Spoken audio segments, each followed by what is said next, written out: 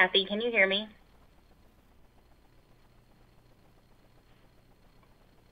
Yes. Perfect. Thank you.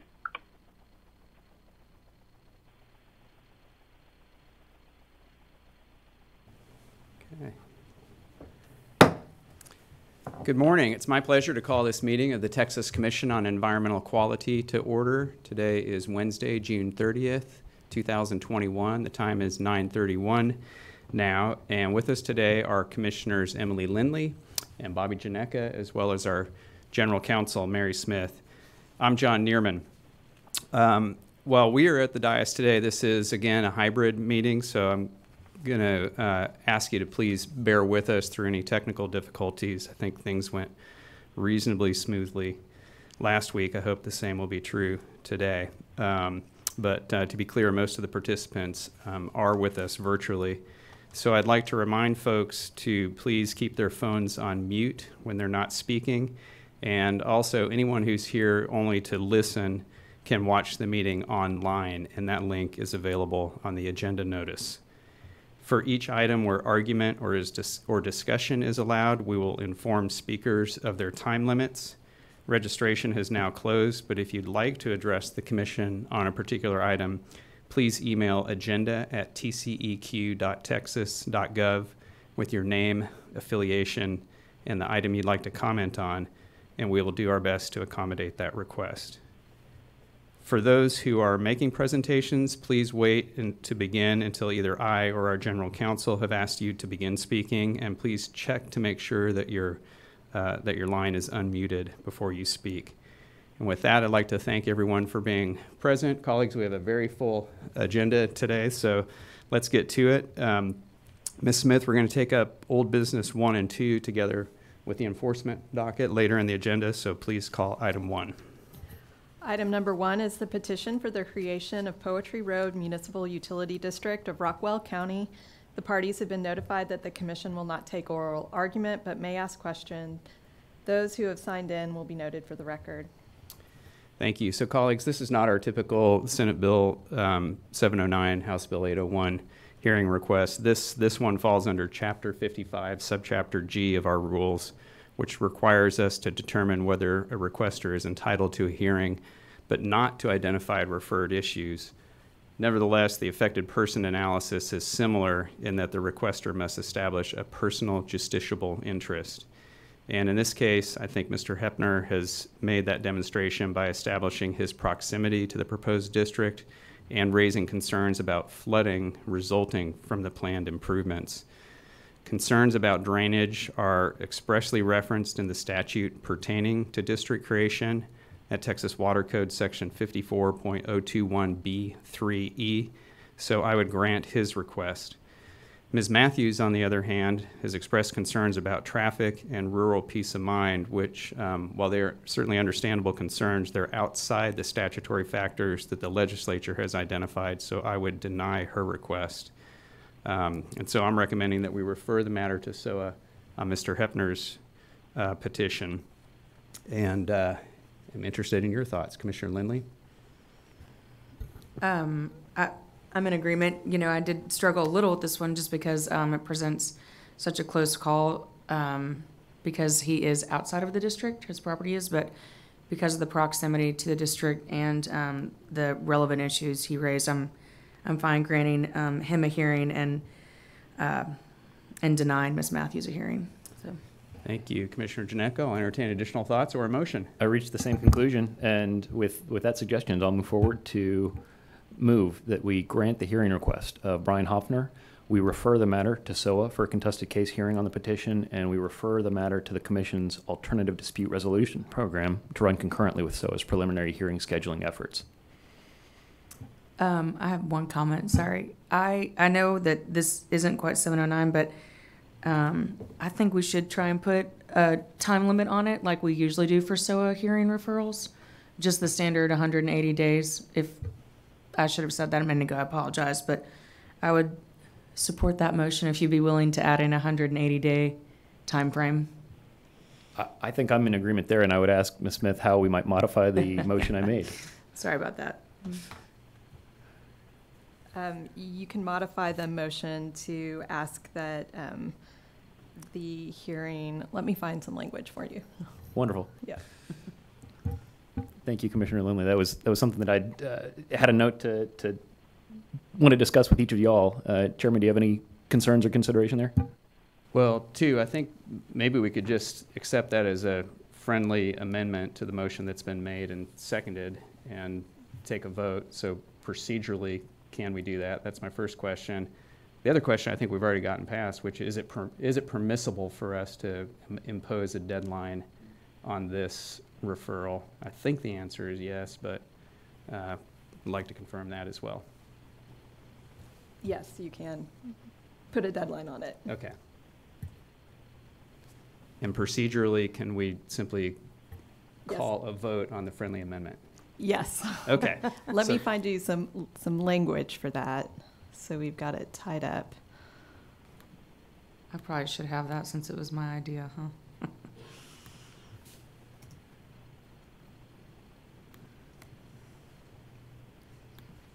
Um, You could add to that amendment, establish a hearing duration of 180 days. All right, so why don't we take it from the top and hear, hear a new motion? Perfect. Let me try that. I would move that we grant the hearing request of Brian Hoffner, refer the matter to SOAH for a contested case hearing on the petition, establish a hearing duration of 180 days, and refer the matter to the Commission's Alternative Dispute Resolution Program to run concurrently with SOAH's preliminary hearing scheduling efforts. I second that motion. The motion has been made and seconded. All those in favor say aye. Aye. Aye. The motion carries. Ms. Smith, please call the next item. Item number two is the consideration of whether to affirm, modify, or set aside the emergency order appointing a temporary manager for four public water systems owned and operated by the estate of Marion J. Smith. The ED should speak first as the movant, followed by the respondent if present. Hearing requesters, presently there are none. The temporary manager, um, if present, I don't believe he is on the line. And OPIC. The General Counsel's Office recommends a five-minute time limit on each party's presentation. Thank you. And uh, is there someone with the executive director's uh, staff on the line? Yes, can you hear me? Loud and clear, go ahead. Good morning, Chairman, Commissioners, General Counsel, and Public Interest Counsel. My name is Benjamin Warms, and I'm an attorney with the Litigation Division representing the Executive Director. With me today is Taylor Pearson, also with the Litigation Division, Nima Montahem with the Water Supply Division, and Jason Lindeman of the Lubbock Regional Office. Item number two is the emergency order appointing a temporary manager of the four water systems owned by the estates of Marion J. Smith. The four water systems are Town North Village, Plot Acres, Cox Addition, and Town North Estates. All four water systems are under a single certificate of convenience and necessity, number 11168, and total 296 service connections. On April 20th, 2021, the TCEQ Lubbock Regional Office received numerous complaints of a water outage at Town North Village and that customers had been unable to get in contact with anyone representing the utility in weeks. That evening, a TCEQ investigator confirmed that there was a water outage at Town North Village, documenting that there was no water pressure at the system. The investigator determined that the outage was caused when electric power was shut off to the system due to non-payments of electric bills. On April 22, 2021, a TCEQ investigator conducted investigations at all four water systems and documented that at Town North Village, Plot Acres, and Town North Estates, there was insufficient, insufficient disinfectant residual in the distribution system and that a licensed operator could not be identified at any of the systems. The Lubbock Regional Office investigated the situation and found that the CCN holder and listed owner and operator of the utility, Marion J. Smith, had passed away in January of 2021. Investigators also found that at the time of Marion Smith's death, the utility was being operated by, by Jimmy Midkiff. Subsequently, during the spring of 2021, Mr. Midkiff suffered a severe medical emergency, causing him to cease operating the utility completely, leaving the utility without anyone to conduct basic maintenance and operation of the water systems. Given these issues, the utility was determined to be abandoned, creating a substantial risk of imminent water outages and posing health hazards to the 750 customers served by the utility. Because of this, on May 5th, 2021, the executive director issued an emergency order appointing Intermediary Solutions Holdings, LLC, as temporary manager for an initial term of 180 days. The utility is currently providing continuous and adequate service to the customers, has begun properly disinfecting the water, and is working with the customers to correct various other issues that arose while the utility was abandoned. The executive director respectfully requests you affirm the May 5th, 2021 emergency order with the modification recommended by the executive director to correct a minor typographical error. We are available to answer any questions you may have. Thank you, Mr. Warms. I have none. Commissioner Lindley, any questions? No questions, thank you. Commissioner Janecek? None. None? Okay. Uh, Is there anyone here for the respondent? Is Ms. Smith here? Anybody here to represent the respondent or the executor of the respondent's estate? Hearing none, I understand that nobody has signed in to request a hearing. Um, And how about our temporary managers? Is Mr. Parker on the line? My understanding is that he isn't on the line. Is not, okay. No one from Intermediate Solutions Holdings, so let's hear next from OPIC. Mr. McWhirter, are you OPIC there? agrees. Yes, I am here. I am here, Chairman. OPIC agrees with the executive director that the emergency order is needed to ensure adequate and continuous service to the utilities customers. We recommend affirming and modifying the May 5th emergency order, appointing this temporary manager of the utility as proposed by the executive director. Thank you, Mr. McWhirter. Um, I want to begin by thanking Intermediate Solutions Holdings for, for taking this on, through, for working through these problems and um, returning service at these systems. Um, I do think it's appropriate to go ahead and, and uh, affirm the order, and uh, we'll invite any additional comments or a motion. I, I have a motion. Um, I would move that we affirm the ED's May fifth, twenty twenty-one, excuse me, emergency order appointing Intermediary Solutions Holdings LLC as temporary manager for the water utility owned and operated by the estate of Marion J. Smith with the following modification. Change the number four four zero nine in finding of fact paragraph four to four four zero six, and issue an order approving the ED's emergency order as modified by this motion. I second that motion. The motion has been made and seconded. All those in favor say aye. Aye. The motion carries. Ms. Smith, please call the next item. Item number three is the consideration and hearing on a resolution from Denton County Freshwater Supply District Number 12 requesting the approval of additional drainage powers. Denton County Freshwater Supply District Number 12 has requested the approval of the additional powers and should present the item, followed by the ED, interested persons, but currently nobody signed in, and then OPIC. The General Counsel's Office recommends a standard five minutes for oral presentations. And good morning. Is Mr. Eidman on the line? Yes, good morning. This is Scott Eidman on behalf of Denton 12. Uh, to provide a little bit of background on this district, it was created in 2018 as a freshwater supply district uh, and later converted to a water control and improvement district in 2019, and that is why we are seeking drainage powers today.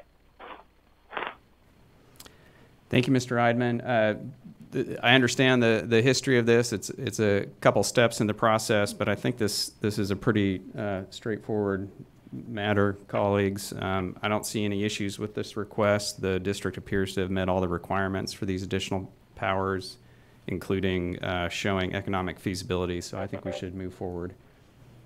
I agree. I'm also in agreement.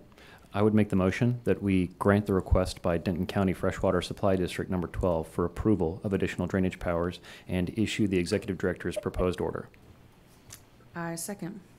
And before we take a vote, I, I uh, skipped over Mr. McWhirter. I didn't invite his thoughts, so before we cement this deal, Mr. McWhirter, what are your thoughts? Uh, I, I agree with all of you. OPIC recommends approval of the order authorizing additional drainage power for Denton County Freshwater Supply District Number 12 as presented by the executive director. Thank you. Sorry to uh, over, overlook you there, but we got your comments in. The motion has been made and seconded. All those in favor say aye. Aye. The motion carries. Ms. Smith, please call the next item.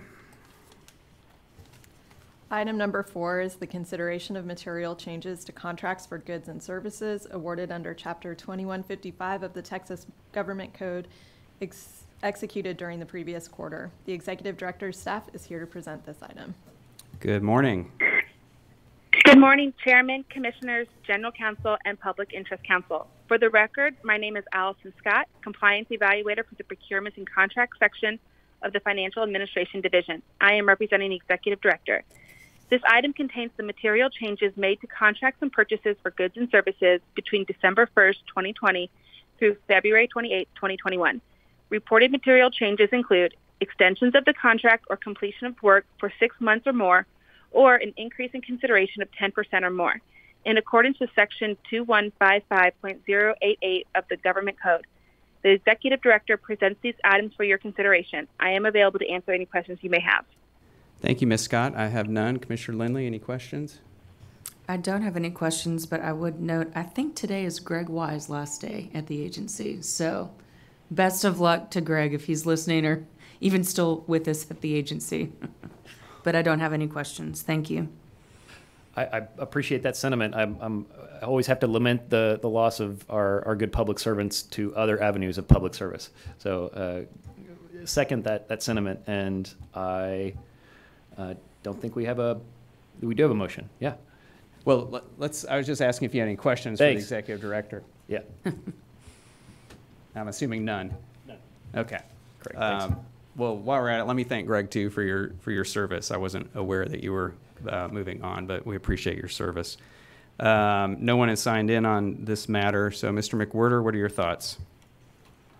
OPIC recommends approval of the resolution regarding material changes to contracts for goods and services as presented by the ED. Thank you. And colleagues, I do agree with that. I think we should uh, approve issuance of this resolution. And I'll invite any additional thoughts or congratulations or, um, or a motion. Um, I, I will move that we approve issuance of the executive director's proposed resolution that acknowledges the material changes to contracts for goods and services in accordance with Texas Government Code Section 2155.088 for the period of December 1st, 2020 to February 28th, 2021, as described in the TCEQ interoffice memorandum to the Commissioners and Executive Director dated June 30th, 2021, in docket number 2021-0711-MIS. I second the motion. The motion has been made and seconded. All those in favor say aye. Aye. The motion carries. Ms. Smith, please call the enforcement docket. That takes us to old business items one and two and new business items five through 30. The Executive Director's staff is here to present these matters. Good morning. Good morning, Chairman, Commissioners, General Counsel, and Public Interest Counsel.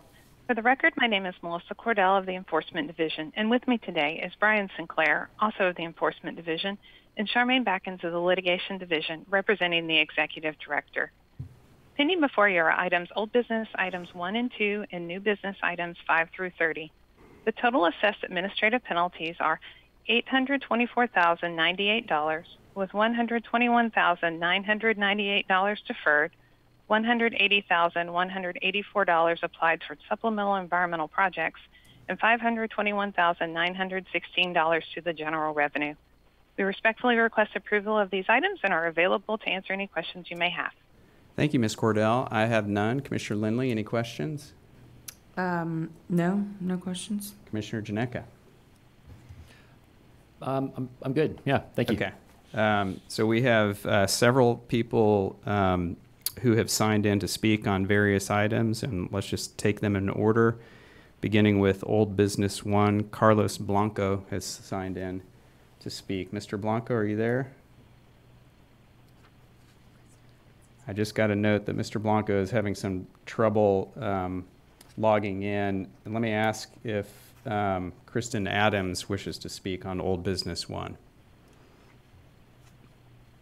Good morning. Um, yes, Commissioner. Um, I, I actually have a copy of Mr. Blanco's statement, so due to the technical difficulties. Um, I'll be reading that on his behalf. Great. Thank you, Ms. Adams. Okay. Um, so I'll be reading from his point of view. So these are his words. Thank you. As the founder of Aguas, I have been in contact with individuals personally affected by the City of Laredo's ongoing water quality issues and violations, and would like to share a few of their comments on the proposed agreed order before you today. A concerned citizen wrote to me that a findings order is essential for the simple fact that without one, the City of Laredo will continue to rely on the proven fact that a slap on the wrist punishment is worth continued violations. It's worked out for them in the past. One more, one more approved agreed order will just continue the seemingly agreed upon pattern that could eventually lead to mass waterborne illness. This would be especially bad for the impoverished children and elderly in Laredo, the one demographic which has historically been victimized by inadequate state agency enforcement action against the city. A local pastor for the Colonias, Pastor Ramos, said the following The city of Laredo must accept their responsibility of guilt for not advising the community on time regarding the September 2019 boil water notice. By not issuing a timely boil water notice, the city of Laredo put the consumers of the public water supply at risk, and we wish not to ever see this happen again. As these comments indicate, it is extremely important to the people of Laredo that there be a findings order that the City of Laredo admits fault for failing to issue a September 2019 boil water notice on time. It's not right for TCEQ to let the city deny any fault in the agreed order, which its investigation found that the city violated the boil water notice rule in bad faith. The people of Laredo will surely lose trust and confidence in TCEQ unless it requires a findings order that says the City of Laredo was wrong. The City of Laredo must take responsibility and admit guilt. The City of Laredo, the City of Laredo leadership must take responsibility for their actions. Thank you, Ms. Adams, and uh, please thank Mr. Blanco for preparing those remarks. Um, There's no one else signed in to speak on old business one, so let's move to old business two. And I understand we have Mr. James Hodges on the line for Quick Crete. Are you there, sir? Yes, I am. Yeah, I want to say first of all, I'm sorry about. I was supposed to be on the docket, I think, a little while ago, and I was a little confused about the process here. So I appreciate you guys taking the time to listen to me this time. Yeah, of course, glad to do it. Yeah, we're taking things a little bit out of order just so we could have our enforcement items all, all together. But uh, Mr. Hodges, the floor is yours, and and uh, you can offer any any comments you want. And some of the commissioners may have questions for you, or they may not. But uh, the floor is yours. Okay, I guess um, I'm, I'm kind of a little bit confused on how this all works here. Because so basically, just a little short story here. So you guys came out to my plant a couple times, uh, you know, put together all your findings, and then I went down to Austin and met with uh, Mr. Dela Cruz and, and one other individual as well, and you know, wrote up all of our findings. We just had a nice conversation there. Um, then basically, came back a little while later and said, "Hey, you know, I, I understand what you guys are, you know, what you came back for responses with, but I don't know, I don't necessarily agree with them or what the final uh, caveat was, but that was fine. And then, uh, you know, I was assessed the fine and we, we paid the fine. And then, uh, I guess that's kind of where we're at now. I guess I'm not 100% sure what, what more you guys need from us, but I'd be more than willing to give you whatever you needed. Um, Margarita had reached out and, uh, said if I could, you know, give you guys any additional either capture and abatement equipment stuff that we'd fixed up there or record keeping stuff or anything along that. So I, you know, I put together a document and sent that on as well. So you guys hopefully should have that. So I guess it's more just a question of what, what you guys need from me here. Great question, and um, government processes are, are confusing. I wish there were a better way to do it. We're always looking for better ways to do it, but let me try to explain to you where, where we are. You know, everything is like you said. Um, you know, the agency identified some concerns at your facility. Um, y'all worked together. You came to an agreed order. Um, that agreed order can't take effect until the three of us, the commission, acts publicly on it, and it was um, it was set for the last agenda, um, and most of these items um, go through without, um, you know, without any without any hangups. Um, Commissioner Janecek, I recall, had some additional questions on on this particular one, so he asked to um, continue it, um, continue your item to this agenda. So what's before us is the same thing that was before us last time, which is are we ready to approve the, the agreed order that, that you negotiated or not? Um, so at this point, let me hand it off to Commissioner Janecek and make sure that uh, he gets any of his questions answered. Commissioner? Thank you. Thank you, Chairman. Uh, and thank you, Mr. Hodges, so much for, for being available today. I appreciate you uh, making yourself available to answer questions. And, and I did just have one question, uh, a few questions from the, the last agenda that I, I would love to give you some opportunity to address here uh, because of the, the public facing element that the chairman uh, discussed that this last step as it comes before us uh, entails. And so I would really just love to hear from you. Uh, specifically, could you please tell us what operating policies or procedures you have modified or adopted since the time of these alleged violations? Uh, mostly just making sure that all of our special conditions within our permit are, you know, being followed through. I, think we Mhm. understood, you know, what we needed to do, but just putting better policies in place here. So basically, we, at the time when this was all going on, this has been three years ago, you know, we had a sweeper that we ran daily, but I don't think we were necessarily doing a very good job of notating the sweeper usage and everything along that line. So we've we've since modified that. You know, we we bought a brand new sweeper. I don't know if you guys saw the new thing that I sent to Margarita, but we upgraded you know, from an older model to a brand. I mean, this thing was thirty thousand dollars. It's awesome. So it does, this, you know, it's a great job. So we run that. We're keeping our sweeper logs. Uh, we got a water truck that we run. You know, whenever we're seeing that we've got, you know, uh, some sort of dusting conditions going on there. Um, you know, just constantly trying to upgrade. Honestly, I mean, we we went from a paper a bag house check system to an electronic bag house check system. So now every single one of our bag houses is on like a maintenance software with our iPads. So our, you know, there's no you know, before you do it on paper, there's always that possibility, you know, like, hey, did bag house 17 get checked last week? Well, okay, you know, have to go back to the paper, but now it's all electronic and they can't move on to their next bag house inspection that the one prior's done. So, you know, that's just a little, you know, better system in place there. Uh, yeah, I'm just, and just trying to, you know, be good neighbors for everyone around here and just, you know, do the best we can. We did a, we did a huge half a million dollar project to replace our aggregate bins. I don't know if you guys saw those pictures, but that was a crazy undertaking there. Um, you know, those things are, enormous bins there. So we took all that out to make sure that, you know, all of our, you know, our bins are, you know, as good a condition as they can possibly be. Um, yeah, and, and just going through, you know, everything we can to just, you know, make this place as clean as we possibly can here. I appreciate the response. I think it's very thorough and, and very much what I hope to hear from our regulated entities when uh, when confusion or snags over uh, their obligations may bring us around to us in, in the uh, enforcement docket here. And I, I sincerely appreciate particularly the uh, two words you use, you use there, uh, endeavoring or aspiring to be a good neighbor. And, and I really appreciate and, and think that that captures exactly where I wanted to see our regulated entities, entities uh, occupying the space in, in terms of relationship with the public. So I don't have any further questions, and I, I really do appreciate you taking the time to make yourself available today. So thank you so much.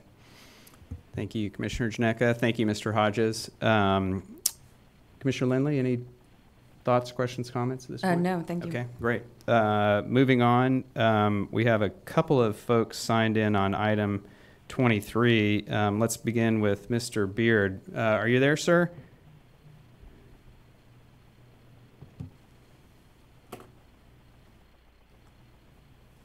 Mr. Beard, I, I don't know if you can hear me, but I cannot hear you. Yes, I can hear you. Can you hear me? I I can, not, not real loud, but uh, I, I think I hear you well enough. You might speak up just a little bit.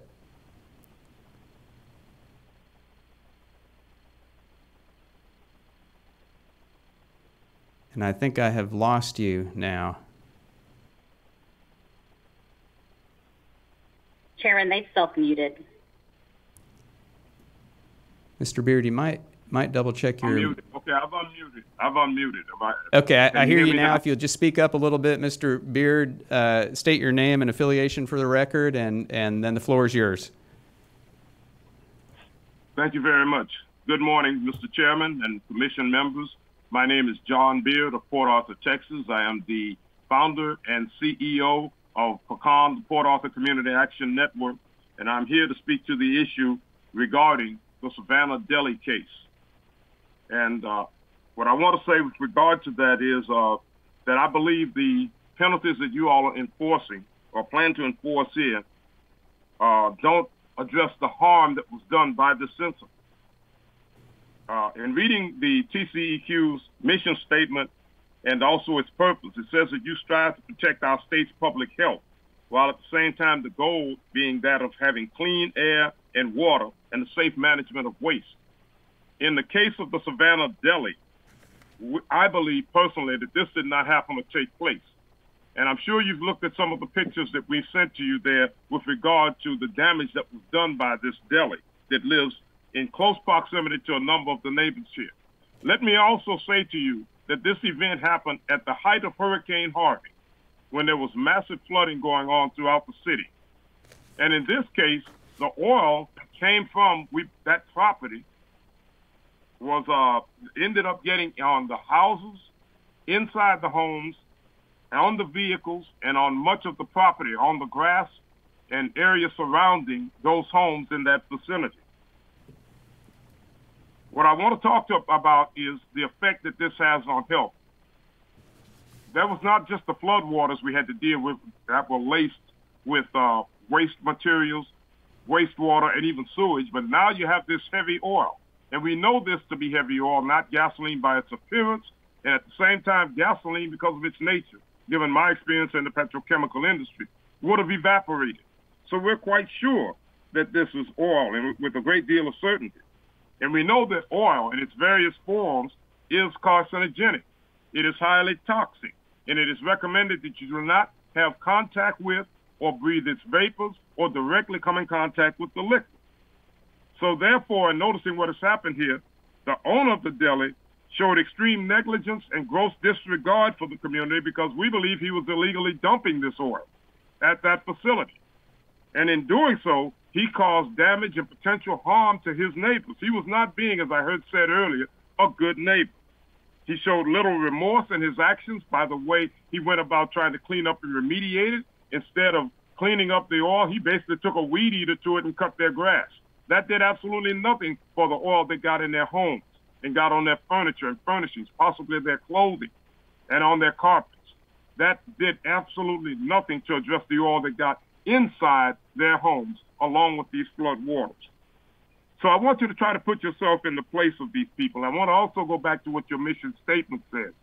When it, and it also says that you try to exercise common sense in accordance with the law and to be consistent in your decisions. And I think that the level of fine and penalty imposed is not consistent with that decision because it does not address the harm nor the negligence that was created by this incident. And it also shows is a basically a slap on the wrist to the owner. And it sends a message to other owners that if you do a little something, pay a little fine and go about your business, not a whole lot's going to come out of it. That's not good. Keep in mind that people were affected women and children, their homes, their, some of their most valued possessions, the biggest possessions some of them will ever have in their lives, were adversely affected and contaminated by this oil that came from this property.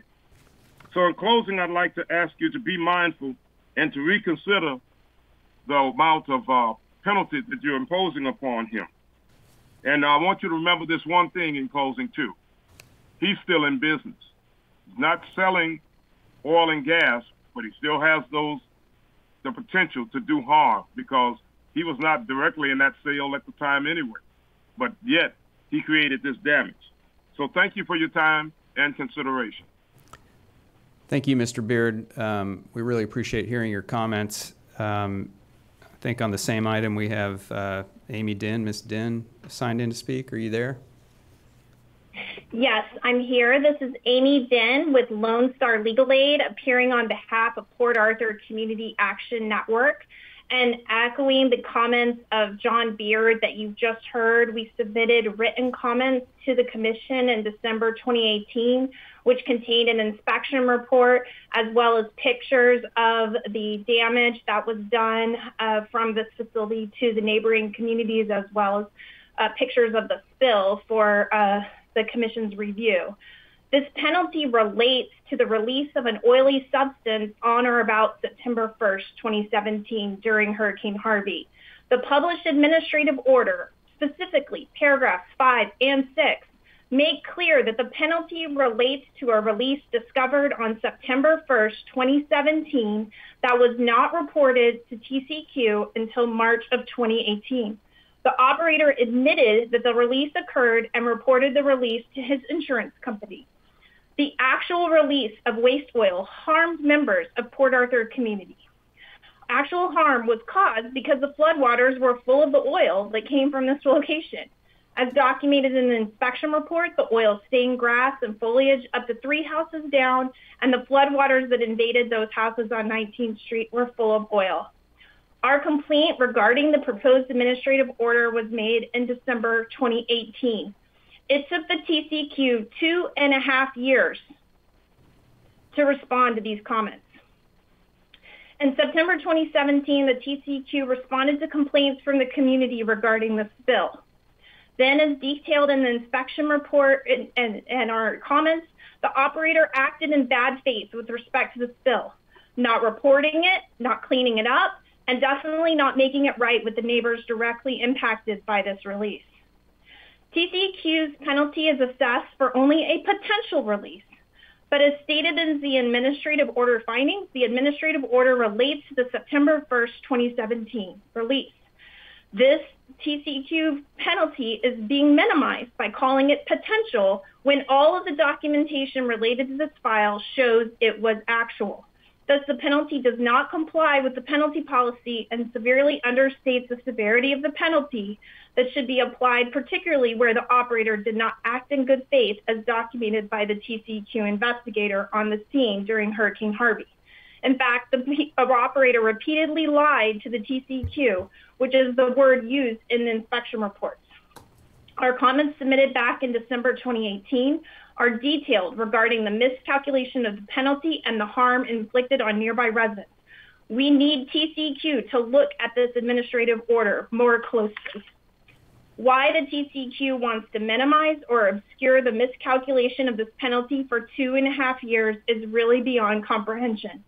The claim that the TCEQ still hasn't figured out what caused the spill is not reassuring either. The fact that the operator didn't have an oil waste permit but clearly released waste oil is not something the TCEQ should ignore. It needs to penalize, and there appears to be no effort to do so. So if there was an actual release, are they not going to penalize the operator for that release? What is the purpose of the administrative order process if this is not what the TCEQ is here to do? Based on the discussions with the um, underground storage tank unit, it does not appear that there were leaks from the underground storage tank. And moreover, this is not a substance that looks like gasoline that would have come for those tanks. So more likely this case involves illegal dumping of waste material. The TCEQ has the ability to require cleanup when there is a spill. That authority was not done here to the satisfaction of residents next door, which is another reason why these comments were filed. The TCEQ in his response to comments specifically states it has no responsibility to clean it up if it cannot tell what caused the documented spill. Again, that is not a satisfactory response. So instead of penalizing the penalty for bad conduct and the failure to fully remediate this release, the TCEQ is letting them off the hook.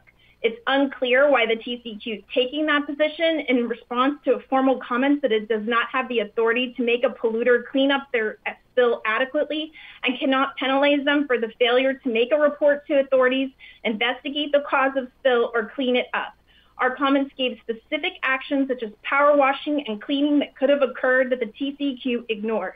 At the very least, requiring the company to clean up its mess sufficiently should be the very essential function of the TCEQ. Thank you for listening. Thank you, Ms. Dinn. Appreciate your comments. Um, so my understanding of this item, and I'm going to ask staff to uh, chime in and help us straighten it out, is that what's before us today are violations relating to a storage tank which contained fuel, not oil. Um, you know, there uh, certainly I accept accept the description that there was waste oil release. Ms. Dinn, you said that that most likely was illegal dumping um, by, if I understood you correctly, was illegal dumping by the respondent here. Um, I, I believe that we have a, um, a remediation matter that we're working with respect to the waste oil, but we'll, I'll ask for some clarification from staff. So um, my understanding is that what's before us is just one part of the issue, and what I've heard Ms. Dinn, you, and Mr. Beard speak to was was um, about waste oil, which is which is not the subject of this um, enforcement order. So, um, with that, let me let me invite staff, and I don't know if that's uh, you, Ms. Cordell, or Mr. Sinclair, to um, um, to address the comments that you've heard. Um, and I'd like you to to include in that um, specifically what was found in the investigation, um, why this was um, identified as a potential release, not an actual release, and um, and what we did with the the reporting, um, or what you can comment on it with respect to documentation of uh, the operator lying to TC, TCEQ. Ms. Dinn said that that was in the investigation report. So I'm just going to throw that, that whole ball over, over to staff for now. We might need to get somebody else um, to address the remediation piece. But Ms. Cordell, Mr. Sinclair, um, please go ahead when you're ready. Uh, good morning, Chairman. This is Brian Sinclair for the Executive Director. Uh, the investigation that, that resulted in the referral to enforcement, uh, uh, I documented the, the failure to report a suspected release to TCEQ within 24 hours of the discovery, and this was based on some on a, an insurance claim that the, that the respondent uh, made in regards to losing uh, losing some uh, fuel from the super unleaded tanks. It did not refer to waste oil. Uh, this was based on records. It did. It, this was a separate investigation from the emergency response investigation that occurred uh, in the September 1st through November 1st, 2017 timeframe.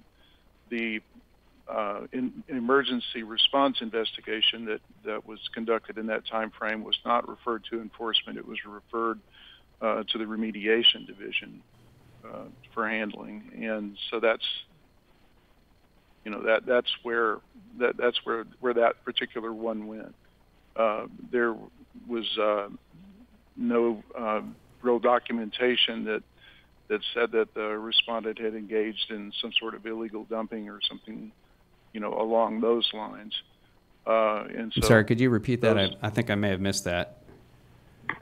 Uh, I don't. I don't believe that there was any documentation that uh, of, of illegal dumping of, uh, of, of oil or illegal, illegal disposure of oil, uh, but there was that uh, that investigation that did occur in that time frame, and that and that it seemed to, or they identified it as as, as coming from Texas KSD Enterprise, but it's not the same substance that was uh, was alleged to have been lost uh, in the investigation that, that resulted in the enforcement action, which was from the super unleaded tanks. Okay, so um, do I understand that that um, the respondent made an insurance claim for an actual loss of fuel? That's right. Okay, and if that's the case, um, do, how does it make sense to call it a potential release when it sounds to me like he's um, said that there was an actual release and loss?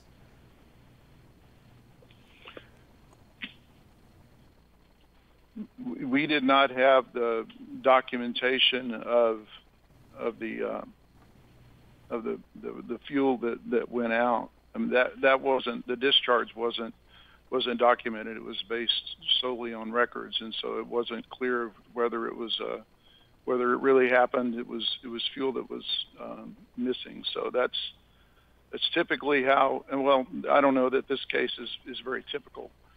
First of all, um, but we we handled it as a suspected release because we didn't have, um, you know, the the investigation that documented it was pretty long after the fact. Sure. Um, are, you, are you in a position to speak about the misrepresentations or, or, or lies? Give us, give the commission a little bit more insight into, into that um, comment. You know, I am not, as we, you know, when, when that was said, I've started looking through the investigation, trying to find exactly where that was stated, but um, I'm not prepared to make any other, any comment on that. Sure. Um, okay, I think um, that's all the questions I have on on the matter before us for you right now. I'm going to want to talk to somebody from remediation here in just a minute. But colleagues, um, you know what I'm thinking, you know, with respect just to the fuel that was lost, not talking about waste oil yet, is I certainly have some questions, and I'm wondering, you know, do we do we continue this item or do we remand it for um, for staff to look at the totality of, of the circumstances, including the insurance claim, to take a take a fresh look at um, at how the penalty was calculated on these violations. And I don't know if you have any thoughts or additional questions for anyone at this point, but let me just, that's, that's what my thinking is on the lost fuel. I, I thought you raised an excellent point. That was a great question. Um, so I'm a little torn on what to do. My knee jerk reaction is maybe continue it, but I, I don't know. It might be, um, I don't know if that's a better approach or a better approach would be to remand it back to the executive director. Um, I don't know right now. but I don't have any questions. I, I think a, a truly complicating piece of this, uh, Mr. Sinclair described it as a, a unique case, and I think any any cases that have origins and, the dates of major hurricanes hitting our state certainly fall into that category. Uh, I think the open question around that waste oil, uh, the origin of that leak, uh, I'm, I'm conflicted because part of the ordering provisions in this agreed order for this uh, this order dealing with the the allegations around the lost fuel oil or fuel uh, refined fuel products are, are entirely separate from the waste oil that clearly contaminated the property and the neighbor's property. And uh, I think that, that that speaks to the common sense element of our agency's uh, mission just as much as anything else does. I don't think that any mem- member of the public would, would expect us to push forward and assert that there was uh, anything involving directly tying the two where where fuel products were what were missing in the insurance report, and that's what brought this particular enforcement item in front of us. And there's still an open question, an open enforcement item with, with no clear blame, no clear answer to it necessarily. Uh, as to the waste oil, uh, I, I would hope that if if executive director had additional time to work on the case, given the length of time since it's been initiated, that, that they can come back with a, a more complete answer. Seeing these two items together on the docket might give us a very different picture than trying to surmise where the rest of the story may have entered into it. I- would love to get it dispensed and have an ordering provision uh, over this respondent's head to say, go forward and figure it out. Uh, on the other hand, I'm not sure whether uh, perhaps we'll we'll just uh, I'll put that question to executive director staff. Do you uh, do you think that a remand might enhance your ability to work with uh, this respondent to to move forward on the other enforcement items of the other action items, or uh, can am I correct in presuming with the presence of the docket the item on today's docket that that executive director staff, y'all saw more value in moving forward with the proposed agreed order as it is before us, and, and you perhaps see more value in getting getting the respondent into compliance and getting answers from them as to the uh, questions on the other enforcement action with the, the waste oil. And I don't know how to concisely restate that question for staff, but um, Mr. Sinclair, could you or someone else from, from ED staff perhaps comment to whether uh, whether this proposed order before before us is is in y'all's opinion the best tools to to continue moving this respondent forward to investigating the cause of the release? Commissioner Janecek, let me, let me Thank you. propose something here. Yes, please. Um, Why don't we hear from remediation staff and get, um, gather sort of their understanding of the waste oil um, um, issue of that release as background information, then maybe you can um, uh, reframe or rephrase your question for Mr. I like that approach far better. Thank you. Okay. Do we have anybody from staff um, who can speak to the waste oil um, remediation um, part that's been raised here? Um, Chairman, this is Brian Sinclair. I do not believe we have uh, someone from remediation that on that I'm aware of that's on on that would be able to speak to this, and therefore either a, a continuation or a remand to to give um, give them an opportunity to uh, to be prepared to provide a thorough answer um, would would probably be best here. Okay. Um, and, and, colleagues, I'm curious whether, you know, whether we have a notice issue perhaps too, because this is noticed for enforcement on a PST and is getting into remediation, a, a separate matter. Um, you know, I think I've heard enough to be convinced that it's worthwhile remanding this item back to the executive director to take a take a new look at all of the evidence available to them, chasing down any um, um, you know, chasing down the allegations about misrepresentations and, and lies, chasing down um, the insurance report, the insurance claim that uh, that um, that may claim a loss of fuel, which would suggest an actual release and so forth. Um, if there if there is a um, an enforcement action to be had with respect to the waste oil, um, you know, that may be a separate path. Perhaps it could be folded into this path. I don't know, but um, certainly staff could evaluate that on remand. So I think bottom line for me is that we um, um, is that we send this back to them to to take a new look at it, recalculate penalties, and um, I think that's where I am. How's that sound? I, I'm fine with that. Okay. Um, again, Mr. Beard, Ms. Dinn, thank you for uh, for sharing your your comments and observations with us today. Um, those that that exhausts the folks who have um, signed in to speak on the enforcement docket this morning. And so next up we have um, OPIC. Mr. McWhirter, what are your thoughts?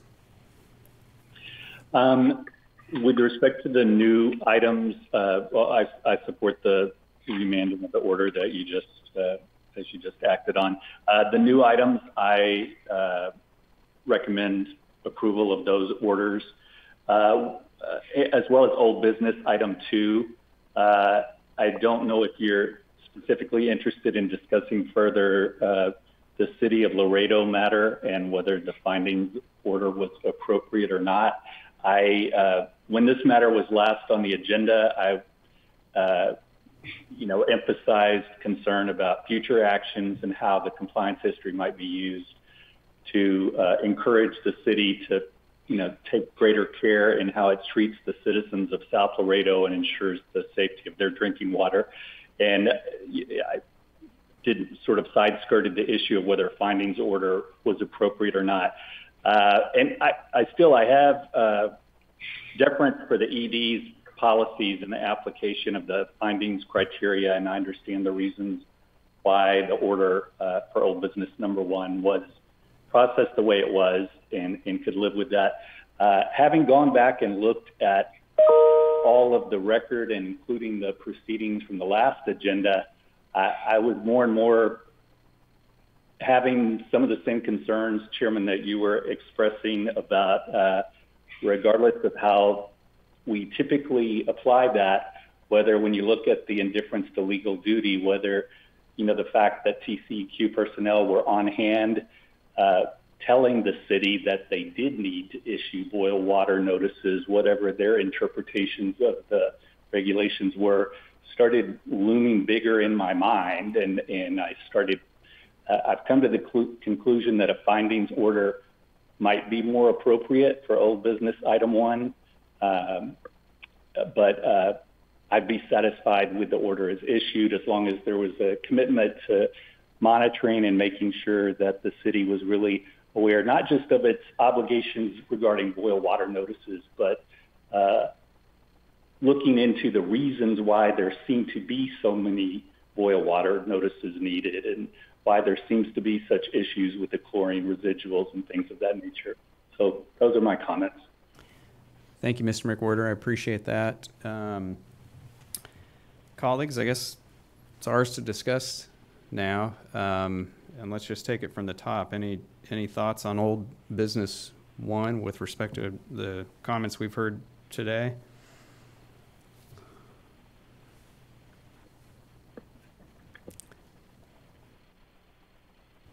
Okay, I'll go. I'll go first. Um, and, and I don't want to belabor this. Um, I reread the rules pertaining to the boil water notice, and, and there's no ambiguity there. And, and more to the point, these rules are meant to notify the public of a potential that their water is not safe to drink. This is not a post hoc notice that the water has been proven dangerous. At that point, it's really too late.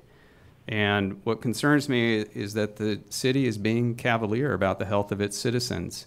And I'm bothered, um, irritated might be a good word, that the city has chosen to try to parse its legal obligations, has given us a tortured reading of the authorities, all to avoid telling their citizens that they may be at risk. And that's simply not okay. Um, now, the legislature has limit our, limited our ability to exact larger penalties from public water supply systems. And uh, I'm not expressing an opinion about that policy choice, but I do want to acknowledge that, that it, um, that it relates to our leverage as a as a regulator, and and specifically, our leverage is is limited. It has its limits. Um, so my hope is that the city will take a lesson from this experience, prioritize the health of its citizens, and not return to our enforcement docket. You know, I th- certainly think it's appropriate, as Mr. McWhirter suggested, that that we um, enhance our our monitoring, our observation of of the city's operations. Um, and, you know, as to whether we send this back to make it a findings order or not, um, you know, I think I've been pretty clear about my findings. I'm concerned about this system. I'm concerned about um, the city's uh, um, approach to this um, to this matter, um, and so you know, whether, whether we remand it or go forward with, with this order, I'm ready to, I'm ready to move forward with this order and get it done, but with the understanding that there's going to be more scrutiny and we expect the city to, to learn its lesson. Um, and imperfect as it is, I, you know, I don't know that it serves a, a great deal um, of benefit to, to send it back, to put it in a different form. Um, the city understands where I am on this and um, I imagine y'all may be in a similar spot, but I will, those are my observations. Let me stop there and invite your, your comments. Commissioner Lindley. Um, I will, I will keep my comments pretty brief. I, th- I think you stated everything um, very well, and I appreciate Vic's comments as well. I'll just say I'm in agreement. Um, I'm ready to move forward with the uh, proposed agreed order, adopting it. Um, I do think um, I don't always love continuing items, but I think in this situation it made sense. I would like to believe, and I and I do think the city of Laredo has probably heard our message loud and clear, and part of that's um, by the number of people that signed in today um, representing the city. Um, I was happy to see that. You know, I never had the intention of Laredo turning into a poster child for these kind of issues, but I would hope that other municipalities take note that we take drinking water, even potential violations, extremely serious. Um, so I too um, would would be okay today adopting um, the agreed order that's in front of us, and I'll stop there. Thank you, Commissioner Janecek.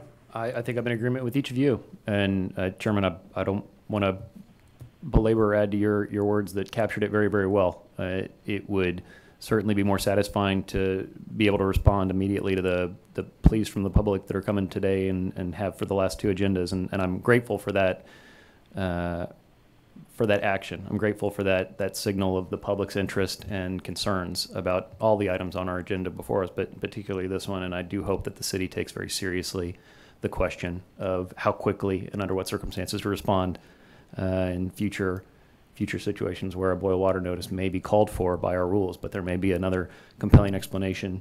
I, I think we're all in agreement that that's not not acceptable. If there's potential public harm, uh, notifying the public, trying to be more open and transparent is certainly the way that we would love to see all of our regulated entities try to err. Uh, but I, I did have, at the risk of belaboring this lengthy docket already, I, I had a question for executive director staff that I did want to ask on item 22. Um, so I don't want to shift gears. We were going from the top, but I'll, I'll hand it back to No, you. go right ahead. Yeah. Well, uh, I, I did just, uh, turning to item 22 on the, on the enforcement docket, I noted that the assessed penalty is deferred to the minimum penalty the executive director can authorize in this matter due to a financial inability to pay. And considering the current status of that facility and the outstanding corrective actions, the estimated costs that our agency staff have, have given for those outstanding actions, it, it appears to me that an additional deferral under other factors as justice may require may be appropriate. And in, in making my decision, I, I wanted to ask ED staff if it would be helpful, uh, or, or uh, I'm, I'm curious if you could comment on whether a further reduction would have a chilling effect on deterrence in this matter and the likelihood of coordinating with the respondent to get a, a signed revised order. I think both of those pieces would be important in my mind to, to try to answer that question. And so, Mr. Sinclair, could you or, or someone else for uh, the executive director just comment on uh, if, if we were to um, utilize our additional authority than the executive director does uh, does have and hold to, to push further that uh, other factors as justice may require adjustment and reserve the full amount of the respondent's resources to address to the corrective uh, actions and correcting the, the outstanding issues of the facility. Uh, would, would that be a, a, a harmful outcome for, for our agency's uh, posture on deterrence of compliance? And, and I'll just ask that question to you and, and ask if you might respond. Um, Commissioner, this is, again is Brian Sinclair. Um, the short answer to your question is I don't know. It's a risk, right? Um, I, I think that it's important to remember that these deferrals are conditional on compliance, and so if if a if a if a further reduction is is made to essentially allow the, the respondent to utilize all those funds for um, for coming into compliance, um, that could work. It would just, uh, but but it would also mean that the um, that the that it's contingent on compliance, and maybe maybe the reduction would need to not just be in uh, uh, in other factors, uh, it may be better to put it in the deferral section and, and make it contingent along with the, the other deferral on compliance. Um, but that's that's my point of view. I think. I, I appreciate that, and, and that does answer uh, a good deal of the question in my mind. Uh, as to the uh, second question I had, do you, do you have anything to say either way in terms of the likelihood of, of coordinating with this respondent to get a signed revised order if uh, this, this matter were remanded back to uh, y'all to, to work up further in this direction? I, I do not have um, specific information on whether or not it would be likely to, uh, or whether that would be difficult with this particular respondent or not. But uh, if it's the, the desire of the commission to, for us to pursue that, we certainly can pursue that. And uh, um, if you remand it, then we can go pursue that and see if uh, if um, if it's a change that that could help. Understood. Thank you so much, Mr. Mr. Sinclair. I appreciate that. It answered my questions. Uh, and, and I, I will just turn to, to my colleagues then and, and suggest that uh, I, I take seriously the, the requirements that our agency imposes in, in order for respondents to be able to assert and receive and downward adjustment on their, their penalty violation, their obligations uh, on the basis of having a financial inability to pay.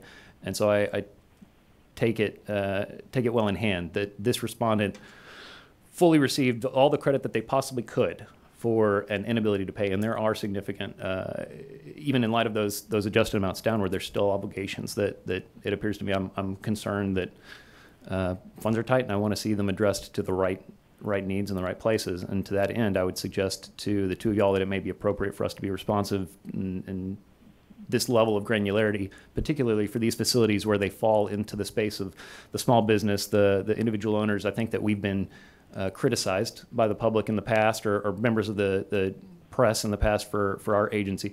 Stepping back, looking at the uh, the data of our agency's regulatory enforcement uh, from a very myopic perspective, it looks like we really disproportionately hit and hit hard the underground petroleum storage tanks or the, the gas stations across our state relative to the more complex chemical facilities in terms of total dollars and, and penalty and, and impact on industry. And I would I would just suggest that that's more a reflection of the differences in the natures of those industries and the, the matter of the violations. But I think that this this example certainly falls into that space where if our agency is is susceptible to any criticism of, of those smaller entities, smaller actors in a different regulatory space being hit harder by our, our penalties and enforcement policy, this is exactly the sort of circumstance where I would hope we would have the the flexibility to give relief. So I, I just put the question to y'all and ask if you have any concerns, heartburn, or, or thoughts either way.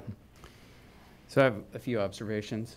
Um, one is I think it's important for us to adhere to the penalty policy as, as much as possible. I think there's value in that, or otherwise we're you know exercising. Um, if, you know, if we if we exercise the commission's jurisdiction to go outside the penalty too much, um, the the penalty policy begins to become meaningless, and I think we venture into territory where where our actions become or can become, um, or at least perceived to be arbitrary.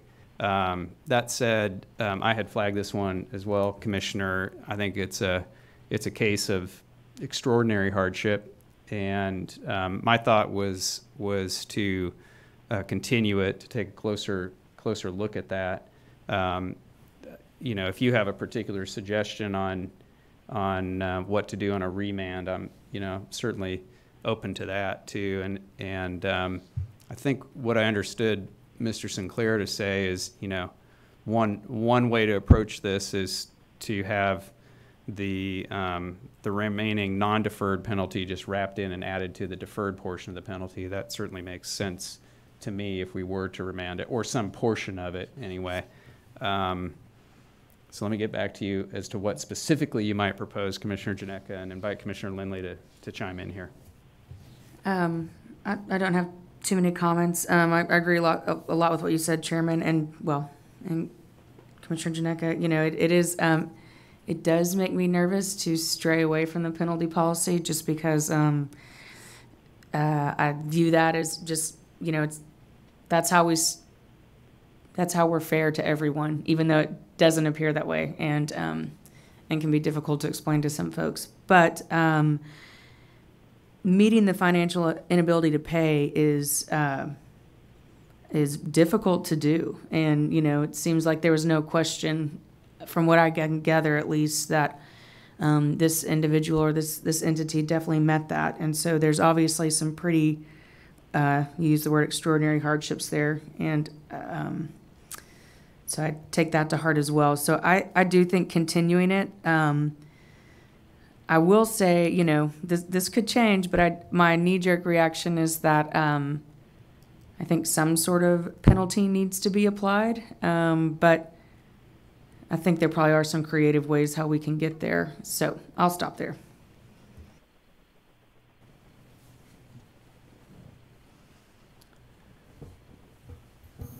Well, if, if I might respond, uh, Commissioner Lindley, I, I think that uh, I'm certainly in agreement with the spirit of, of your observation there, and, and I think that uh, turning back to your question, Chairman, in, in terms of my, my thoughts on a path moving, moving forward, I would I would suggest uh, we may we may consider a remand to the executive director with the uh, suggestion that they they consider exactly what what Mr. Sinclair suggested in terms of uh, adjusting that outstanding uh, penalty obligation to, to include it as a deferred uh, penalty in such a way as if the uh, respondent cannot make the corrective actions, demonstrate that all the necessary costs and, and resources are dedicated to making those corrective actions to our agency's satisfaction, then uh, all of those deferred amounts would would potentially come due, or or partially or fully, uh, as as our uh, agency's legal authority can then assert further down that compliance process. Um, I, I certainly take the point that there's there's a, a need and a desire to see them pay some penalty, and I, I think that it falls very much in the same space in my mind in how we have been granted the authority relatively recently by the legislature uh, in in terms of granting flexibility to cities or, or public authorities to utilize in lieu of paying penalties to us or the state rather uh, apply those funds directly to to remediation. I think that the the public is served in this instance in the same sense that that we we respond to the legislature's good policy direction in that in that other space.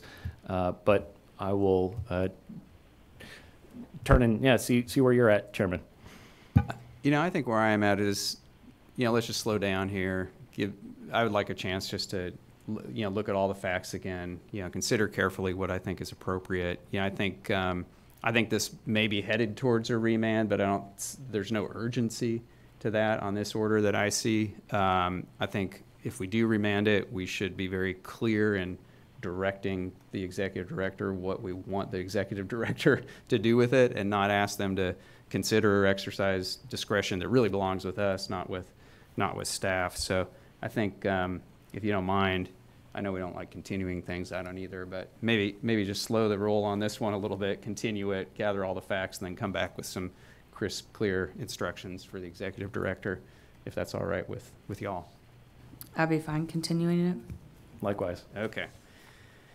All right. So um, I think we've talked about all of the all of the thorny ones on the enforcement docket. Um, we've heard from all the parties. Any other thoughts on the enforcement docket? And I'll I'll attempt a motion.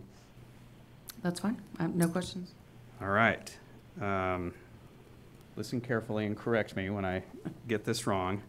Um, colleagues, I move that we adopt old business items one and two and new business items 21, I'm sorry, and new business items 5 through 21 and 24 through 30 as recommended today by the executive director, and that we continue item 22 until a further agenda, and that we remand item 23 to reconsider the penalty consistent with the conversation from the dais today.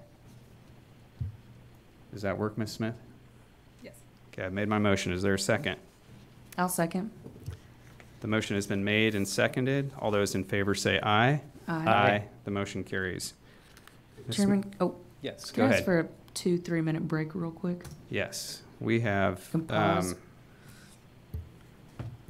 The time is 10:42. We'll take a short recess and reconvene at approximately 10:45. We stand in recess.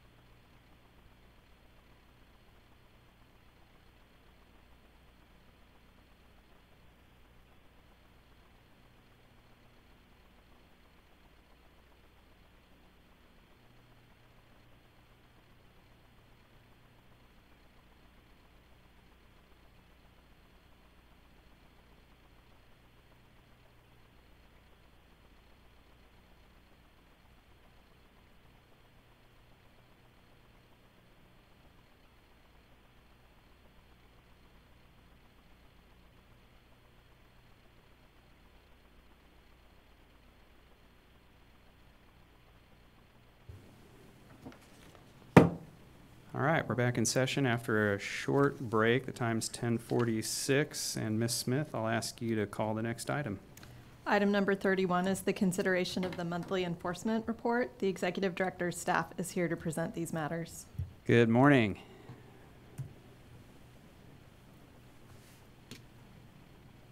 Good morning, Chairman, Commissioners, General Counsel, and Public Interest Counsel. My name is Melissa Cordell of the Enforcement Division, and with me is Brian Sinclair of the Enforcement Division and Charmaine Backens of the Litigation Division. We are here to present the monthly enforcement report for fiscal year 2021 through April. There were 614 effective administrative orders issued, and of those, 83 contained supplemental environmental projects. These orders assessed a total of $6,710,027 in penalties, with a payable amount of $4,171,650. $1,393,421 are to be paid towards supplemental environmental projects. 10,350 notices of violation have been issued through either our field offices or review of self-reported data in our central office. 1,166 enforcement action referrals have been received. There are 1,683 pending administrative orders with 273 cases that are on the backlog. 207 cases are pending at the Attorney General's office for representation in district court and 10 judgments have been issued. 2,056 cases are being tracked for compliance. We've included for review a summary of OCE investigative activities for fiscal years 2019, 20, and 21. We are available to answer any questions you may have. Thank you, Ms. Cordell. I have none. Commissioner Lindley, any questions? No questions, thanks. Commissioner Janecek? None, thank you. All right, no one signed in to speak on this. Mr. McWhirter, what are your thoughts? I don't have any questions. I appreciate the report. Thank you. Likewise, Ms. Cordell, thank you and your team for the report. No action is necessary on this item. So, um, colleagues, if there's nothing else, seeing nothing, Ms. Smith, I'll ask you to please call the next item. Item number 32 is the consideration of a petition for rulemaking filed by Perales, Allman, and Ice, PC, on behalf of Ingleside on the Bay Coastal Watch Association, the Port Aransas Conservancy, and Hillcrest Residents Association to amend 30 Texas Administrative Code Chapters 295 and 297 to prescribe measures to minimize impingement and entrainment at desalination facilities. The petitioners, Ingleside on the Bay Coastal Watch, Port Aransas Conservancy, and Hillcrest Residents Association, are represented by Eric Allman, and they will present the matter, followed by other interested persons, the ED and OPIC. The General Counsel's Office recommends limiting the speakers to five minutes each for presentations.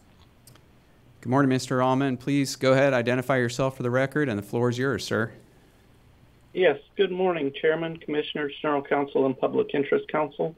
My name is Eric Allman. I'm here on behalf of Ingleside on the Bay Coastal Watch Association.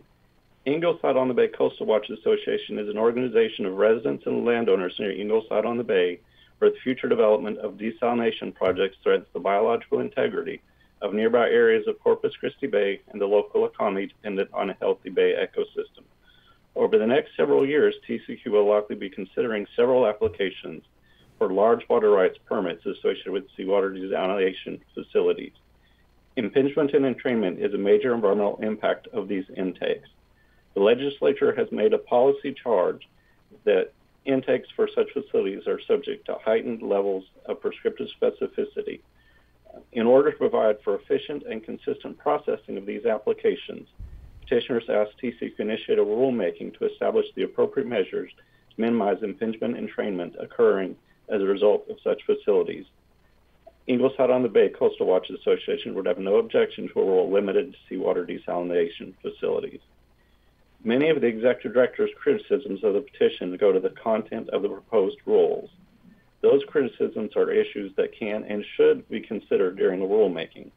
But the decision before the commission today is only whether to engage in a rulemaking to prescribe reasonable measures to minimize impingement and entrainment, not a decision on what those rules should say. The decision of whether to engage in a rulemaking can be resolved by looking to the plain language of the governing statute and the plain language of the TCEQ rules. Texas Water Code Section 18.003H is straightforward and explicitly states the Commission by rule shall prescribe reasonable measures to minimize impingement and entrainment. By requiring that the Commission prescribe reasonable measures, the legislature has explicitly required the TCEQ adopt a prescriptive regulatory approach to the minimization of impingement and entrainment as a result of intakes for desalination facilities.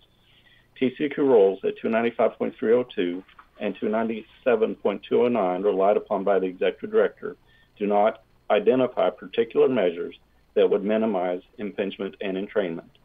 For example, an applicant is asked to identify the maximum through-screen velocity, but no velocity to minimize impingement and entrainment is prescribed. By failing to prescribe reasonable measures to minimize impingement and entrainment, those rules are not sufficient to implement the requirements of House Bill 2031. The adoption of rules identifying measures to minimize impingement and entrainment prescriptively does not require an inflexible approach. The impacts of desalination facilities are highly dependent upon location. That's reflected in the recent report by the Texas Parks and Wildlife Department and the General Land Office. An intake would have virtually no ecological impact offshore, could be devastating if placed within a bay or estuary. Seawater desalination can be done without excessive harm to the environment if done properly at appropriate locations, and proper rules can acknowledge this. I thank you and I'm available for any questions you may have. Thank you, Mr. Allman. Um, I have none. Commissioner Lindley, any questions? No. Commissioner Janecek? Uh, thank you. Uh, thank you, sir. We have one person signed in to, to speak on this. Ms. Gaines, are you with us? Yes, I am. Can you hear me? Loud and clear. Please go ahead and identify yourself and your affiliation, and the floor is yours. Good morning, Commissioners. My name is Erin Gaines. I'm here today representing the Hillcrest Residents Association, or HRA. This is one of the other groups that filed this rulemaking petition. HRA is a group formed to protect the public health, safety, the environment, and the quality of life for residents in the Hillcrest neighborhood of Corpus Christi. Hillcrest is a historically segregated African American neighborhood along Corpus Christi's north side, or the Refinery Row, where current residents are surrounded by two refineries, the Ship Channel, Highway I 37, and the new Harbor Bridge. Now, Hillcrest residents face yet another proposed facility in their neighborhood, a desalination plant along Corpus Christi's inner harbor. The inner harbor connects to the Corpus Christi Bay, an environmentally sensitive ecosystem that is important for tourism and commercial and recreational fisheries. This is one of several applications for desalination plants in the Corpus Christi Bay pending before TCEQ. Desalination facilities intake large amounts of seawater to convert to fresh water by reverse osmosis. Aquatic organisms are often trapped against intake screens or sucked into the facility itself, which is called impingement or entrainment. We're here today to discuss the petition that HRA and other Coastal Bend groups filed with TCEQ to adopt regulations governing intake structures for these seawater desalination facilities. This petition is critical to ensure efficient and consistent standards in the review of these applications. Importantly, as Mr. Allman said, the Texas legislature in 2015 required TCEQ to prescribe reasonable measures to minimize impingement and entrainment in recognition that these desalination permits would present common issues and it made sense to set a common standard by rule. The advantage to establishing these common standards for impingement and entrainment is that it promotes consistency and enables the impacted public to participate in this process through a single rulemaking rather than having to inefficiently deal with the issue through repeated participation in multiple permit applications. This is particularly important for small community groups with limited resources like HRA, especially in environmental justice communities. The proposed rules would establish minimum standards for design of intake structures and a framework for enhanced scrutiny where important sport and commercial fisheries would be impacted. However, the specifics of the rules do not need to be decided at this stage. They can and be, should be considered during a public rulemaking. Thank you for your time. Thank you, Ms. Gaines. Um, let's hear, colleagues, any questions for Mr. Allman or Ms. Gaines? No, thank you. Okay. Um, let's hear next from the Executive Director. Good morning, Commissioners, General Counsel, and Public Interest Counsel. On behalf of the Executive Director, I'm Dr. Kathy Alexander with the Water Availability Division. With me today is Ruth Takeda with the Environmental Law Division. This petition for rulemaking was submitted by attorneys representing the petitioners, Ingleside on the Bay Coastal Watch Association, Port Aransas Conservancy, and Hillcrest Residents Association. The petitioners state that the Commission has not adopted rules as required by Texas Water Code Section 18.003H and therefore request that the Commission initiate rulemaking to amend Chapters 295 and 297. Specifically, the petitioners propose new rules regarding the application requirements for a desalination intake prescribing measures to minimize impingement and entrainment at desalination facilities. The executive director recommends denying the petition because the commission has adopted rules addressing impingement and entrainment pursuant to Texas Water Code Section 18.003H, and the petitioner's proposed rules extend beyond the scope of those adopted rules. In addition, the Commission's existing rules governing water rights applications under Chapter 11, including the authority to require special conditions to address impingement and entrainment, are sufficient. Thank you, and we're available to answer any questions. Thank you, Dr. Alexander. I have none. Colleagues, any questions for Dr. Alexander? Seeing none. Mr. McWhirter, what are your thoughts? Uh, actually, uh, for OPIC, Eli Martinez, I believe, is on the line, and he'll give our presentation. Great. Good morning, Mr. Martinez. Good morning, Chairman. Um, OPIC has reviewed this petition and its reference materials, and we support granting the petition and initiating the rulemaking process to seek further stakeholder input on developing more protective rules. Because multiple desalination facilities are currently under consideration that would potentially impact sensitive ecological, recreational, and commercial areas, the agency is confronted with an important moment in time relating to the location, construction, and operation of these facilities, including implementation of protective measures for sensitive marine sea life.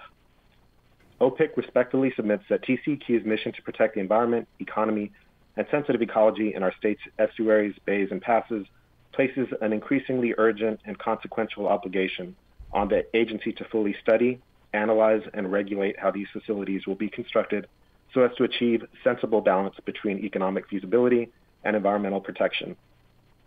Measures needed to protect marine organisms when diverting seawater in the Gulf are identified in the Texas Parks and Wildlife and GLO Zone Study.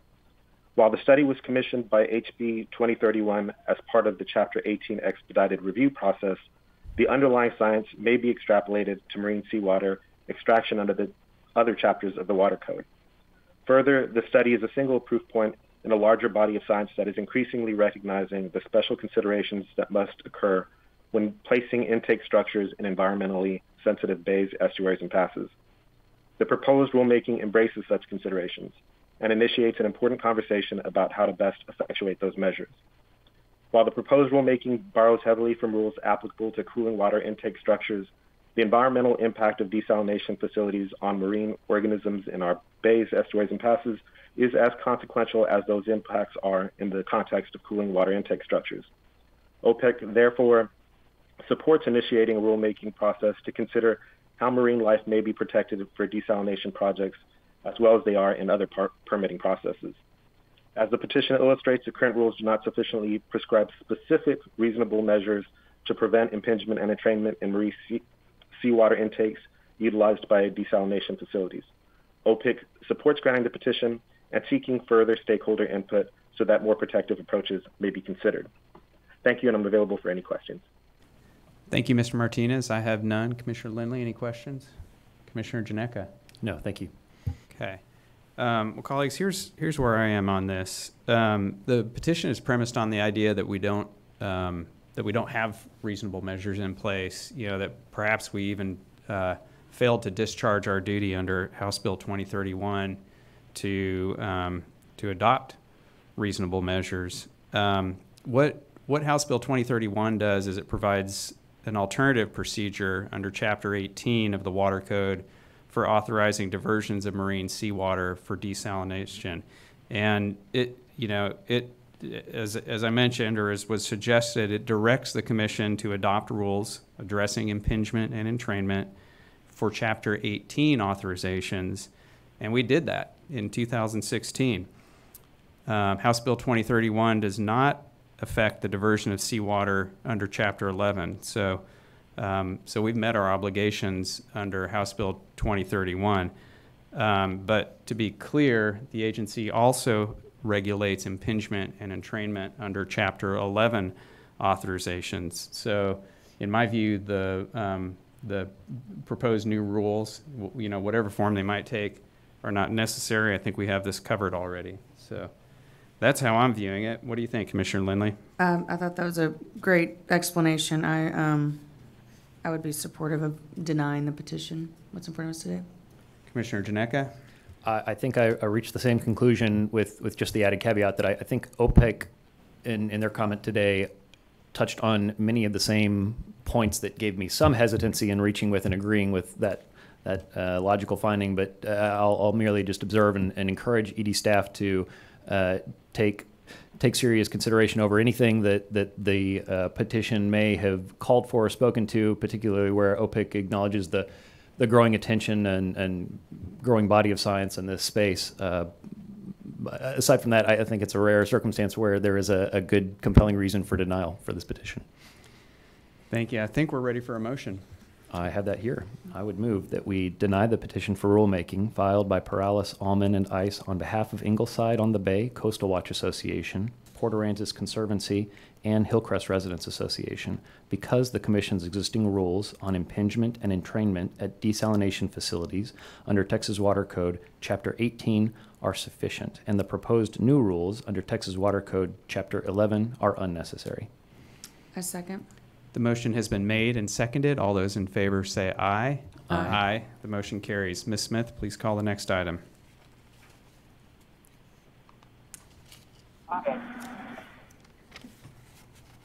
Item 33 is the consideration of the adoption of new and amended sections of 30 Texas Administrative Code, Chapter 115, regarding control of air pollution from volatile organic compounds and corresponding revisions to the state implementation plan. The Executive Director's staff is here to present this item. Good morning. Good morning, Commissioners, General Counsel, and Public Interest Counsel. On behalf of the Executive Director, I am Nikki Clark with the Air Quality Division. With me is Amy Browning with the Environmental Law Division. For your consideration today are the Executive Director's revisions to 30 Texas Administrative Code Chapter 115.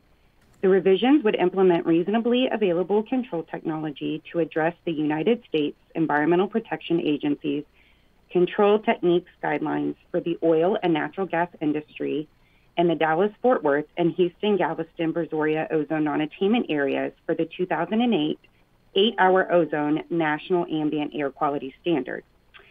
Staff respectfully request adoption of the Chapter 115 rulemaking. Staff also respectfully requests permission to make non substantive revisions to comply with Texas Register requirements. Thank you, and we are available to answer any questions.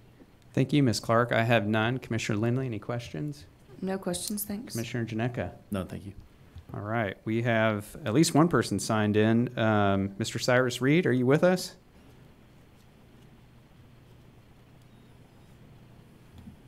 I can't hear you. Might double check your, your mute button.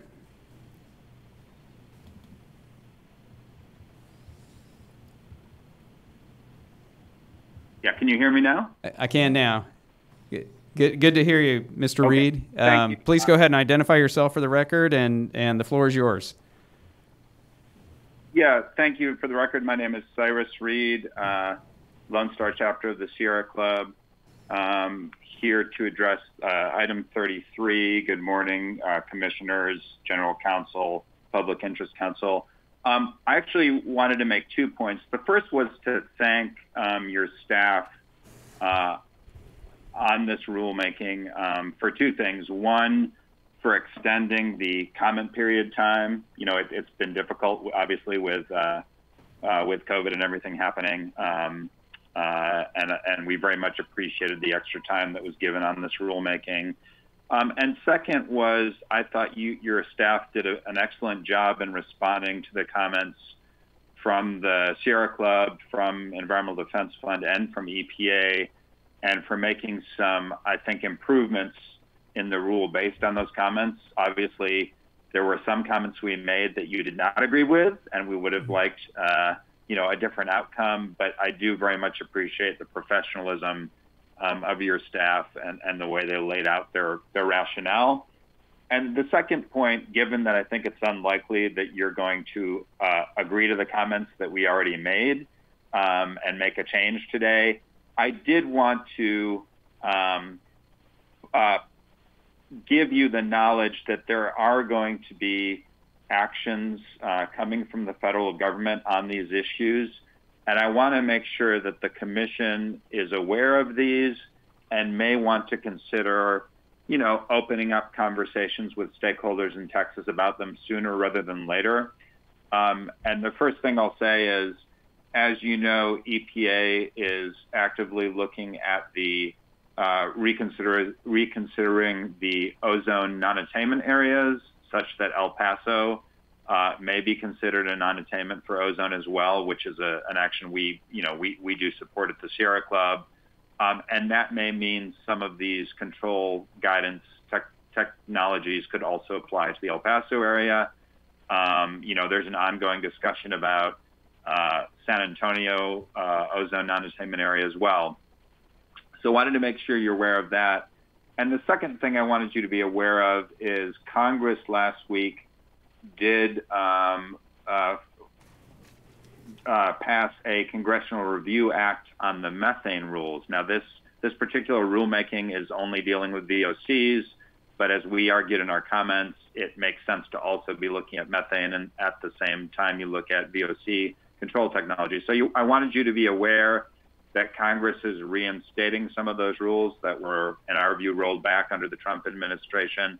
And I, I would think you wouldn't be surprised that we expect President Biden to sign those. So that may there may be a need for further action um, from your staff to implement those. You know, the rules from before that were rolled back, which are are now there again. And we also fully expect the EPA to do a a wider look at methane standards for not just the new the newer oil and well facilities, but the existing infrastructure as well. So I, I really just wanted to use this this time not to urge you to do anything specific. On the item before you, but urge your staff to be prepared and perhaps open up some stakeholder uh, dialogue on this so that Texas can get ahead of these regulations and do something in a way that you know is common sense, but also will lead to reductions in both um, emissions that cause ozone problems, but also emissions that, in our view, are, are cooking the climate because of their uh, their global warming um, impacts. And so that, with that, I just I do appreciate very much uh, the the attention your staff put into responding to comments and the added time for the um, for making comments. And with that, I'll close. Thank you, Mr. Reed. Um, I have a number of thoughts in, re- in, response to your comments. One was I, you know, um, you know, we, we we try to mind our ethics here. So I was, uh, uh, and and our um, open government laws. So, in, in, listening to your comments, I was thinking, is he straying outside the matter that's been noticed before us? And uh, what it what it reminded me is that when you're talking about air, a it's complex, and b everything is is interconnected. I mean, VOCs uh, clearly have a direct uh, relationship to to ozone. Um, so I, I just wanted to to, to note and reflect on just the complexity and, and interrelatedness of all this. I also wanted to thank you for um, recognizing the professionalism of our staff. Our, our staff is outstanding. They do a great job. Um, and I, thank you for recognizing that. And I, and I appreciate that it can be difficult to recognize that when you uh, have some substantive disagreements with them. But, but the fact that you're able to recognize that makes it a lot easier for us all to get together, even we, when we have different viewpoints, and actually hear from our stakeholders and get to the meat of the issues um, instead of having it drowned out in, in you know, uh, more less constructive conversation. So um, I, I, thank you for that. Um, I don't think I have any other uh, responses for you right now, but uh, colleagues, any questions or comments for Mr. Reed? Thank you for the the updates and news about coming federal actions. I'm sure our staff will will be ready to uh, respond and, and, consider those when when they come down the pike. But I, I certainly appreciate the spirit of wanting to uh, come to the table earlier to discuss these issues where there are outstanding issues ahead. So thank you. Thank you, Mr. Reed. Uh, no one else has signed in to speak, so we'll hear next from OPIC. OPIC recommends approval for adoption of the new and amended sections of the Commission's Chapter 115 rules and corresponding revisions to the state implementation plan as presented by the Executive Director. Thank you, Mr. McWherter. I agree with that. This action is necessary to meet our SIP obligations. I think it's pretty straightforward. Um, so I think I'm ready to move forward with adoption. I am too. And I would move that we adopt the new and amended sections of 30 um, Texas Administrative Code, Chapter 115, and the corresponding revisions to the state implementation plan as recommended by the executive director. I second the motion. The motion has been made and seconded. All those in favor say aye. Aye. Aye. The motion carries. Ms. Smith, please call the next item. Item number 34 is the consideration of an air quality standard permit for marine loading operations under Texas Health and Safety Code, Chapter 382. The executive director's staff is here to present the item. Good morning. Good morning, Commissioners, General Counsel, and Public Interest Counsel. On behalf of the Executive Director, I am Melanie Nealon with the Air Permits Division. With me is Sierra Redding with the Environmental Law Division.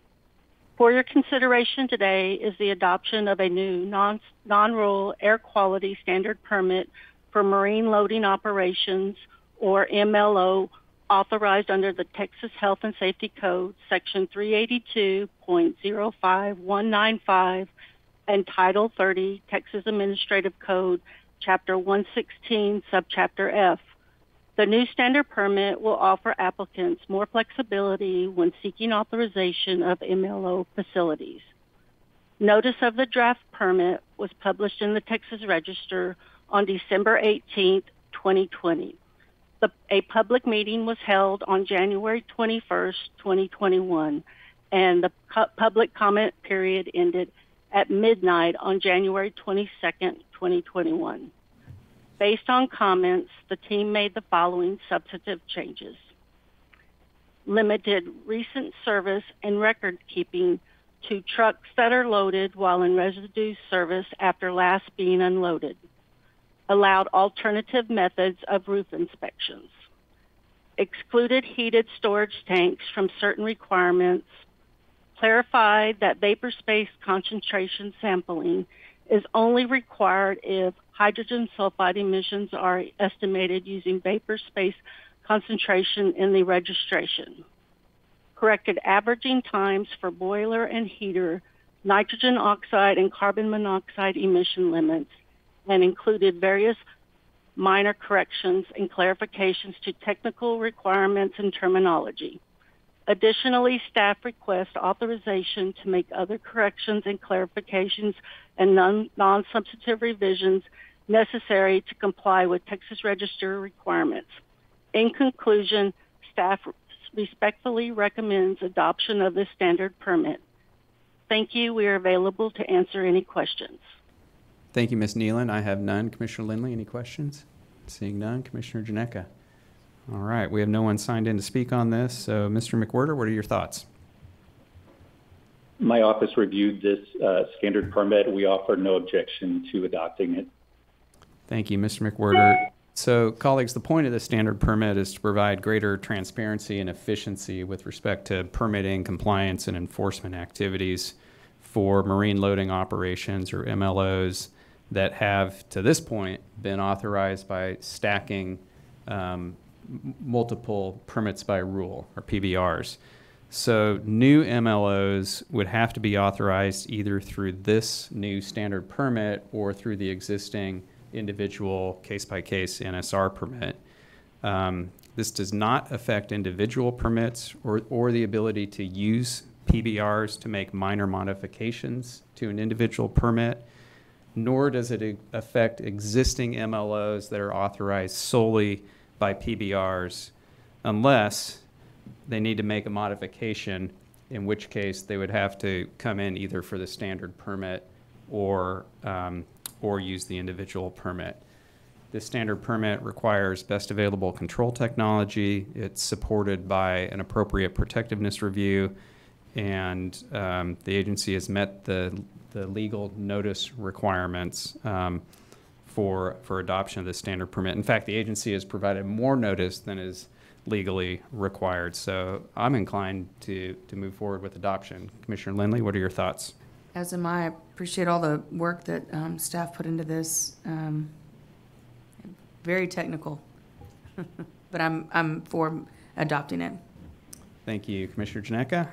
Well, well summarized, uh, well captured, Chairman. And I, I would only add the observation that well, I agree with you that the agency went above and beyond its its obligations on notice requirements on this one. I, I do note that there were requests from the public, and, and we made the decision not to offer a translation of the of the initial notice on this on this matter. I, I hope that that's a skill set that our agency develops and grows, so that that's an easier threshold decision for us to make in future standard permit actions like this, where there's uh, no geographical location necessarily where something may take place that strikes me as a great place where our agency can try to uh, err on the side of caution and, and offer translations if, if there are uh, limited English communities where where these permitted sites could be could be located. I think there's a really compelling argument that we need to consider strongly uh, translating. That said, I, I do want to recognize and again reiterate we went above and beyond what what rules require for these standard permits, and, and I'm perfectly satisfied, ready to move forward today. Great, thank you. I think we're ready for a motion. I'll move that we adopt the air quality standard permit for marine loading operations as recommended by the executive director. I second. The motion has been made and seconded. All those in favor say aye. Aye. Aye. The motion carries. Ms. Smith, please call the next item. Item 35 is the adoption of the 2021 Regional Haze State Implementation Plan revision. The executive director's staff is here to present the item. Good morning. Good morning, Commissioners, General Counsel, and Public Interest Counsel. On behalf of the Executive Director, I'm Walker Williamson of the Air Quality Division. I'm joined by John Minter of the Environmental Law Division. For your consideration today is the Executive Director's revision to the State Implementation Plan, or SIP, for, regional, for the Regional Haze second planning period. This SIP revision addresses regional haze in Big Bend and Guadalupe Mountains National Parks in Texas and Class 1 areas located outside Texas that may be affected by emissions from within the state in accordance with Federal Clean Air Act, Section 169A. Staff respectfully requests adoption of this SIP revision. Thank you for your consideration, and we're available to answer any questions. Thank you, Mr. Williamson. I have none. Commissioner Lindley, any questions? No questions, thanks. Commissioner Janecek? None. Great. We do have a few people signed in to speak on this item. Um, let's begin with Professor Daniel Cohan. And sir, when you're ready, uh, if thank you, you'll- Commissioner. Y- yeah, you're, you're coming in loud and clear. Please just go ahead and identify yourself for the record, and then the floor is yours, sir. Sure. Um, yeah, my name is Daniel Cohan. I'm an atmospheric scientist and associate professor of environmental engineering at Rice University with two decades of experience working on modeling and analysis of air pollution issues. Uh, this regional haze rule is of particular interest to me because before joining Rice and returning to Texas, I worked for Georgia's environmental agency, the Environmental Protection Division, where I worked with uh, not just Georgia, but with neighboring states across uh, the Southeast and the Southern Appalachians uh, to develop the first phase regional haze plan for Texas and, and collaborate as other states did so as well. So I realize um, the challenge and, and, great work that the agency staff did and, and the outstanding modelers and analysts that are there who, who looked at the data and, and wrote a very thorough report in terms of uh, the impacts of haze and, and, and the causes at, at Big Bend and other class one areas. At the same time, that makes me um, all the more astounded to see that the proposal is to take absolutely no action for new control measures for the next decade. In fact, this plan would never have been accepted by Georgia or any of the neighboring states when we were developing our first phase of plans, and we uh, required best available retrofit technologies to be installed at sources that have been grandfathered in, including uh, what's happening in Texas, where there are uh, coal-fired power plants emitting more uh, sulfur and nitrogen oxide pollution than in any other state, and lack scrubbers that have been required of all new power plants since around 1981. And this plan, by doing nothing, would allow that to continue. Uh, the proposed plan would do nothing to reduce emissions of haze forming air pollution from Texas power plants and industries, for another decade to come, even though the purpose of the regional haze rule is to put us on a continued glide path of continual further progress and a move towards natural visibility at uh, class one areas. Although the rule is targeted at regional haze, the same pollutant that causes haze, fine particulate matter, is also what scientists tell us is the deadliest air pollutant, required, uh, responsible for several million deaths a year globally and tens of thousands in the United States. Um, my own research, published in the Journal of the Air and Waste Management Association, has shown that the Texas coal power plants that are left uncontrolled by this rule contribute to the deaths of several hundred Texans every year. Uh, TCEQ's own analysis uh, shows that there are numerous control measures that could reduce nitrogen oxides and sulfur dioxide emissions for less than the cost effectiveness threshold they chose, which was $5,000 per ton. I would argue they should have chosen an even higher threshold because our analysis and numerous published papers show that SO2 controls are uh, beneficial to health even at ten to twenty thousand dollars per ton. But even taking into account the five thousand dollars per ton uh, threshold, TCEQ identified numerous measures that could be put in place uh, that would achieve that, would be far more cost effective than that threshold, and have been decades overdue in being imposed, and yet none of them are proposed.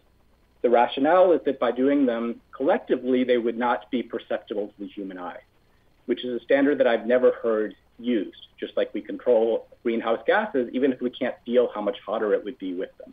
We control air pollutants and ozone smog, even if we don't feel them searing our lungs. Here, we uh, got analysis showing that these are contributing to haze at Big Bend, at Guadalupe Mountains, uh, at uh, class one areas in New Mexico, Oklahoma, and Arkansas, and yet we're choosing to do nothing about them. And the analysis that, that TCEQ has put forward is consistent with the group, uh, with what my group published in Strasert et al. 2018, showing that indeed these plants, including uh, Plant Parish in my own backyard and in Fort Bend County, uh, contribute to haze at those class one areas. Um, by do, adopting a do nothing plan, TCEQ is almost certain to attract lawsuits and see this plan rejected by the EPA, much like EPA rejected the previous uh, plan um, uh, under phase one. I urge the Commission to ask uh, the Executive Director and, and the, the highly qualified staff to revise this plan to include options for control measures that have already identified to be cost effective, as well as measures that should have been considered, such as scrubbers at Plant Parish. Although the air quality improvements may not be perceptible to the human eye, doing nothing is missing cost-effective opportunities to reduce haze and control particulate matter, potentially saving hundreds of lives. And I appreciate you for, for your time and, and giving me this opportunity to speak. Thank you, Professor Cohan. Um, appreciate uh, your comments this morning. Uh, next up, we will hear from Chloe Crumley. Ms. Crumley, are you there? Yes, I'm here. Good morning. Just go ahead and please identify yourself for the record, and the floor is yours. Wonderful. Uh, good morning, Chairman and Commissioners. My name is Chloe Crumley with the Texas and Oklahoma Office of the National Parks Conservation Association, a 100-year-old nonpartisan organization that works to protect our national parks for current and future generations. Thank you for the opportunity to comment today regarding item 35. Um, I'd also like to thank the staff that worked on this plan. Everyone was accessible and responded to us in a timely manner when we had questions and granted us an extended comment period, which we were able to take advantage of while we previously submitted comments about the revised plan um, and we appreciate the team taking those comments into consideration, we want to go ahead and uh, raise more concerns um, for the record before you vote on the state implementation plan. The Clean Air Act Regional Haze Rule is an opportunity for Texas to create a robust state implementation plan in the clean air of harmful pollutants that travel in and outside of Texas, like Mexico and Oklahoma. Um, yet the plan has fallen short for the last 10 years, and the plan before you still fails to incorporate those adequate controls and measures on some of our state's largest polluting facilities. And this is our main concern. So, along with our 1.6 million members and supporters, I encourage you to not approve the state's regional haze plan until it inquires about requirements for significant pollution reduction from those industrial and coal fired facilities contained in it and that would make reasonable progress in clearing the air over our national parks and class one areas, but would also benefit the economy and the health of Texans at the same time. So let me give you some examples. If you get out to the national parks this summer, um, like I, I, hope you do, to go see the Milky Way at the Big Bend or climb the peak of Guadalupe Mountains, there's a good chance you'll miss out on about 50 miles of scenery. Um, and that impacts the visitor experience. So if haze imp- negatively impacts the visitor experience, that can hurt local economies that depend on park tourism like Fort Davis and Marathon. Parks provide nearly $480 million in economic output in Texas annually and support thousands of jobs. But studies show that park visitation drops when air pollution is high, indicating the direct effect of air quality has on the visitor experience and potential impact on tourism dollars. We're also concerned that without adequate pollution controls on facilities like Martin Lake Electrical Station, which could fill over 200 football stadiums annually with its emissions, not only will the park suffer, but the health of Texans. In fact, haze pollution has the most harmful consequences for people of color and socioeconomically disadvantaged communities. And these realities are especially troubling as marginalized communities are bearing the brunt of air pollution and have had the highest COVID 19 infection rates during our ongoing pandemic. Without strong safeguards protecting the air we breathe, we cannot keep our parks and local economies healthy, let alone people. Lastly, the regional haze rule is a time tested and effective program to clean the air and assist in ensured closure of plants like Harrington that has agreed to convert by 2025, but this unenforceable agreement is concerning and could be addressed by a stronger SIP. The chairman and commissioners, uh, we ask that you help Texas commit to a new, uh, stronger plan. And Texans want you to take action for cleaner air. Earlier this week, we submitted to your office a petition signed by more than 350 Texans asking for you to take action to clean the air of our national parks, protect wildlife, and provide great benefits to the health of our communities by not accepting the plan and requiring stronger pollution controls. So thank you for listening to our concerns and for your consideration on this. Thank you, Ms. Crumley. Um, we appreciate you sharing your comments with us. And uh, next up, we're going to hear from uh, Cyrus Reed again. And uh, again, Mr. Reed, if you'll just identify yourself uh, for the record and then proceed. Yes, um, Cyrus Reed, Lone Star Chapter of the Sierra Club. Uh, good morning, commissioners, um, general counsel, OPIC, and, and anyone else listening. Um, I'll, I'll, be very brief given that a number of the points I was going to make were made by the previous two speakers, but I am going to echo the comment and ask you to reject this proposed plan.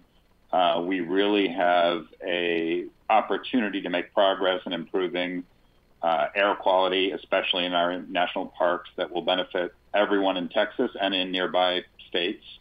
Um, and this proposed plan really is disappointing and falls short in meeting requirements of the Clean Air Act. Um, it doesn't require any emission reduction.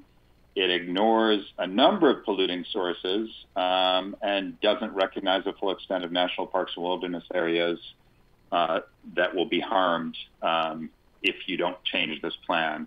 And so let me, I, am not going to go and read my whole statement given that a number of the points were, were made, but I did want to emphasize that the plan before you um, does consider some of the major sources uh, that contribute to haze, sort of the big electric generating units, uh, but then fails to actually require them to do anything.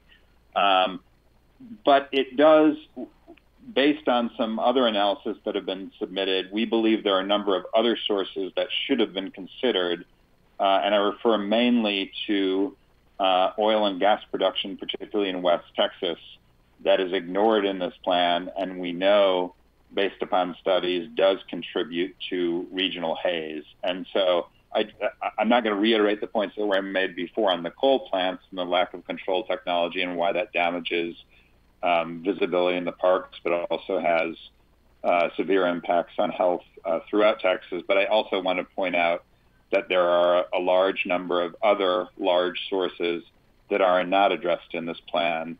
Uh, and in our comments uh, that we submitted earlier this year, we, we went into some detail on those on those sources. But again, uh, we we view this as a do nothing plan. We urge you to reject it, and we think if you do submit it, it's it's likely to be rejected um, by the current EP anyway, which means we're wasting a lot of time, staff, staff time um, and and a lot of hours of work. And so we think it would be better to reject it and come back with a different plan that, that the EPA might be able to act upon in, in, a, in a positive way. So with that, I'll end my comments.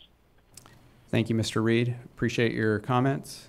Uh, colleagues, any questions or comments before we hear from OPIC? No, thank you. All right. Mr. McWherter, what are your thoughts? Um, as evidenced by the backup materials and the discussion today, there's significant disagreement whether new emission control measures for identified sources should be included in this SIP provision. OPIC is not staffed with subject matter experts who can evaluate the technical bases underpinning the position taken in the comments and the response to comments. But we do understand the significance of the July 31st deadline and the need to submit a SIP revision for EPA's review by that time. For this reason, we have no objection to approval of this item, so the SIP revision may be timely submitted for EPA's review and response. Thank you, Mr. McWherter. You know, colleagues, I think what we have here is just a fundamental different different view of what this provision of the Clean Air Act is is about. And the way I look at it, 169A is about visibility. It's an aesthetic standard. You know, the Federal Clean Air Act uh, is principally a statute about protecting public health and the environment, and we're very familiar with those provisions. Um, but separate from those provisions, Congress chose to regulate for aesthetic values. And um, they've done so specifically um, addressing visibility with the goal of improving visibility in national parks and other class one areas. Um, and in fact, Congress directed EPA to adopt regulations to put states on a path to achieving so-called natural visibility. And th- the states demonstrate that they're making reasonable progress toward that goal, toward better visibility through their regional haze state implementation plans. And that's what's before us today. So, what Texas's plan does is it demonstrates that the state is on track um, to meet natural visibility conditions by 2064. That's the deadline that EPA chose and put in the um, Federal Register in its regulations for all states. Um, I understand that some states aren't aren't meeting that. Uh, Texas has demonstrated that it will meet that. Um, so in my mind, I think the inquiry could could end there. We are on a path to achieving EPA's goal. The state is on track. Um, but Texas also examined the costs and benefits of imposing additional controls on 18 sources expected to contribute to visibility impairments. And um, as you saw in the backup material, I'm sure using a cost threshold of $5,000 per ton for NOx and SO2, there would be no perceptible change in visibility at any of the seven relevant class one areas. But there would be a big cost. The cost would be $200 million annually. And there may be additional unquantified costs in terms of electric reliability. So this is modeled, it's quantified at $200 million annually. The area with the greatest improvement, the biggest impact on visibility would be the Caney Creek Wilderness area in Arkansas. And that area would have an incremental improvement of 0.56 deciviews. And visibility changes are understood to be imperceptible uh, until they reach one deciview. So, with respect to visibility, if we're looking at visibility, there's no question that Texas's plan is reasonable. And I think the act is clear that these regional haze requirements are solely about visibility. So, I'm ready to adopt this SIP provision. Commissioner Lindley, what are your thoughts? Um, I don't have anything to add in addition to that. Thanks for laying it out. Um, I too am also comfortable with the adoption of the of what's before us today. Commissioner Janecek? I'm, I'm also in agreement. While I, while I find myself uh, also in, in partial agreement with many of the points raised by the commenters, I, I ultimately fundamentally agree with you that these uh, those are ancillary additional uh, considerations that really are not called for in the decision before us and our obligations to respond to EPA and, and this portion of the Clean Air Act. I'm, I'm comfortable moving forward today. And, and I, I think we're all fully aware that these, these are issues that uh, continue to be litigated and discussed by, by many parties and many, many players. And, and another very important piece of this is merely where, where that larger story that our agency's uh, interactions with EPA in this issue, I think, feeds into the, the action today. I think it's appropriate, and we're ready to continue the discussion with our federal and, and stakeholders across the country.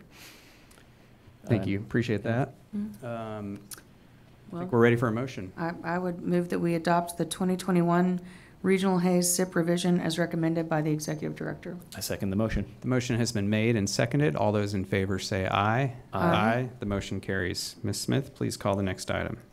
Item 36 is the consideration of the agency post-incident response actions related to the February 2021 severe winter storm, including plans to evaluate factors that impact public water system response and recovery actions. And I think the executive director staff is here to, to, to lay it out. Good morning. Good morning, Chairman, Commissioners, General Counsel, and Public Interest Counsel. For the record, I'm Terry Michelle Kyle. I'm the Deputy Director of the Water Supply Division. I'm here to provide the monthly update for the agency's after action review of Winter Storm Uri. The Public Water System Survey was completed and made available in mid-May. To date, we have received 348 responses. The survey will continue to remain available for public water systems on the agency's winter storm webpage. Looking at demographics of the respondents, about 90% represent community public water systems, and the majority of the respondents represent systems that have between 1,000 and 10,000 service connections. Half of the survey respondents stated that they have lost the ability to provide treatment or distribute water, so the project team is carefully evaluating causation of those issues. One of the most surprising things that we are learning is that systems sustain significant damage to critical electrical components from the surges generated during the rolling blackouts. To address these issues, we have developed guidance to assist water systems to prepare for rolling blackouts and electrical outages, to minimize damages and losses, and to prevent interruption of critical services. The guidance is now available on the agency's disaster and recovery webpage, and uh, a link is also provided on the Winter Storm Uri webpage. Some of the most common methods reported that systems used to prepare for the storm was insulating plant piping and chemical feed lines, increasing fuel supplies for generators, and increasing staffing for additional coverage during and after the storm. The project team is evaluating which method or combination of methods were the most effective for maintaining operations. More than half of the public water systems that responded stated that they did not have a mutual aid agreement so we will develop and distribute educational materials outlining the benefits of having this type of agreement. Over half of the respondents stated that they needed emergency response training exercises. The project team is currently coordinating several training events to be conducted over the summer and fall to provide water systems resources to plan, conduct, and evaluate exercises that focus on water sector related hazards. Additionally, a significant portion of the agency's public drinking water conference in August is dedicated to water system resiliency training. We have begun our roundtable discussions and held the first meeting on June 29th. We had approximately 50 participants. The discussion focused on adequacy of power resources, impacts to water system infrastructure, and what is needed to prepare for future weather-related events. The virtual meetings have been scheduled throughout the month of July, and participants can register for any of the meetings on the Winter Storm webpage. The project team continues discussions with other state agencies to learn from their experiences, as well as gathering information on what they are working on related to the impacts of the storm.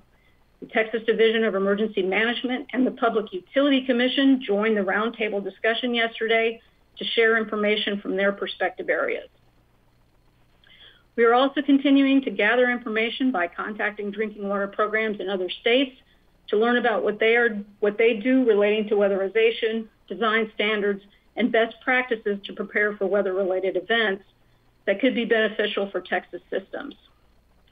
That concludes our monthly update. We welcome any feedback that you may have, and I'm available to answer any questions. Thank you, Ms. La Caille. Um, I don't have any questions at this point. Uh, Commissioner Lindley, any questions? No questions, thank you. Commissioner Janecek?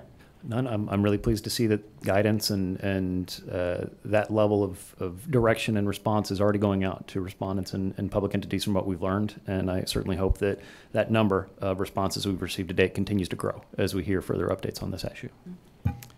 Yeah, I agree. I really appreciate all the efforts that that um, have been made already to you know to start addressing the problems that we have identified in terms of guidance and training and so forth. You know, I'm wondering, and I think this is probably a conversation for another day, is, is you know, which, uh, which practices might we consider uh, promulgating as rules to make enforceable? Which, which should we, um, you know, maintain as, as guidance, as, as suggestions? And, um, and I'm also struck that these, these, uh, many of these small water systems are under tremendous burdens already. And so I want to, I want to help them provide better services. I don't want to get in their, their way and saddle them with something that's, that's challenging. So that's, that's the balancing act. But, um, Ms. La Caille, thank you very much. I appreciate everything that your team is doing on this. Um, if there's nothing else, there's no action required on this report. And seeing nothing, so Ms. Smith, I will ask you to call the next items. Items 37 through 40 are for closed session. The commission will not meet in closed session today. The time is 11:42. We are adjourned.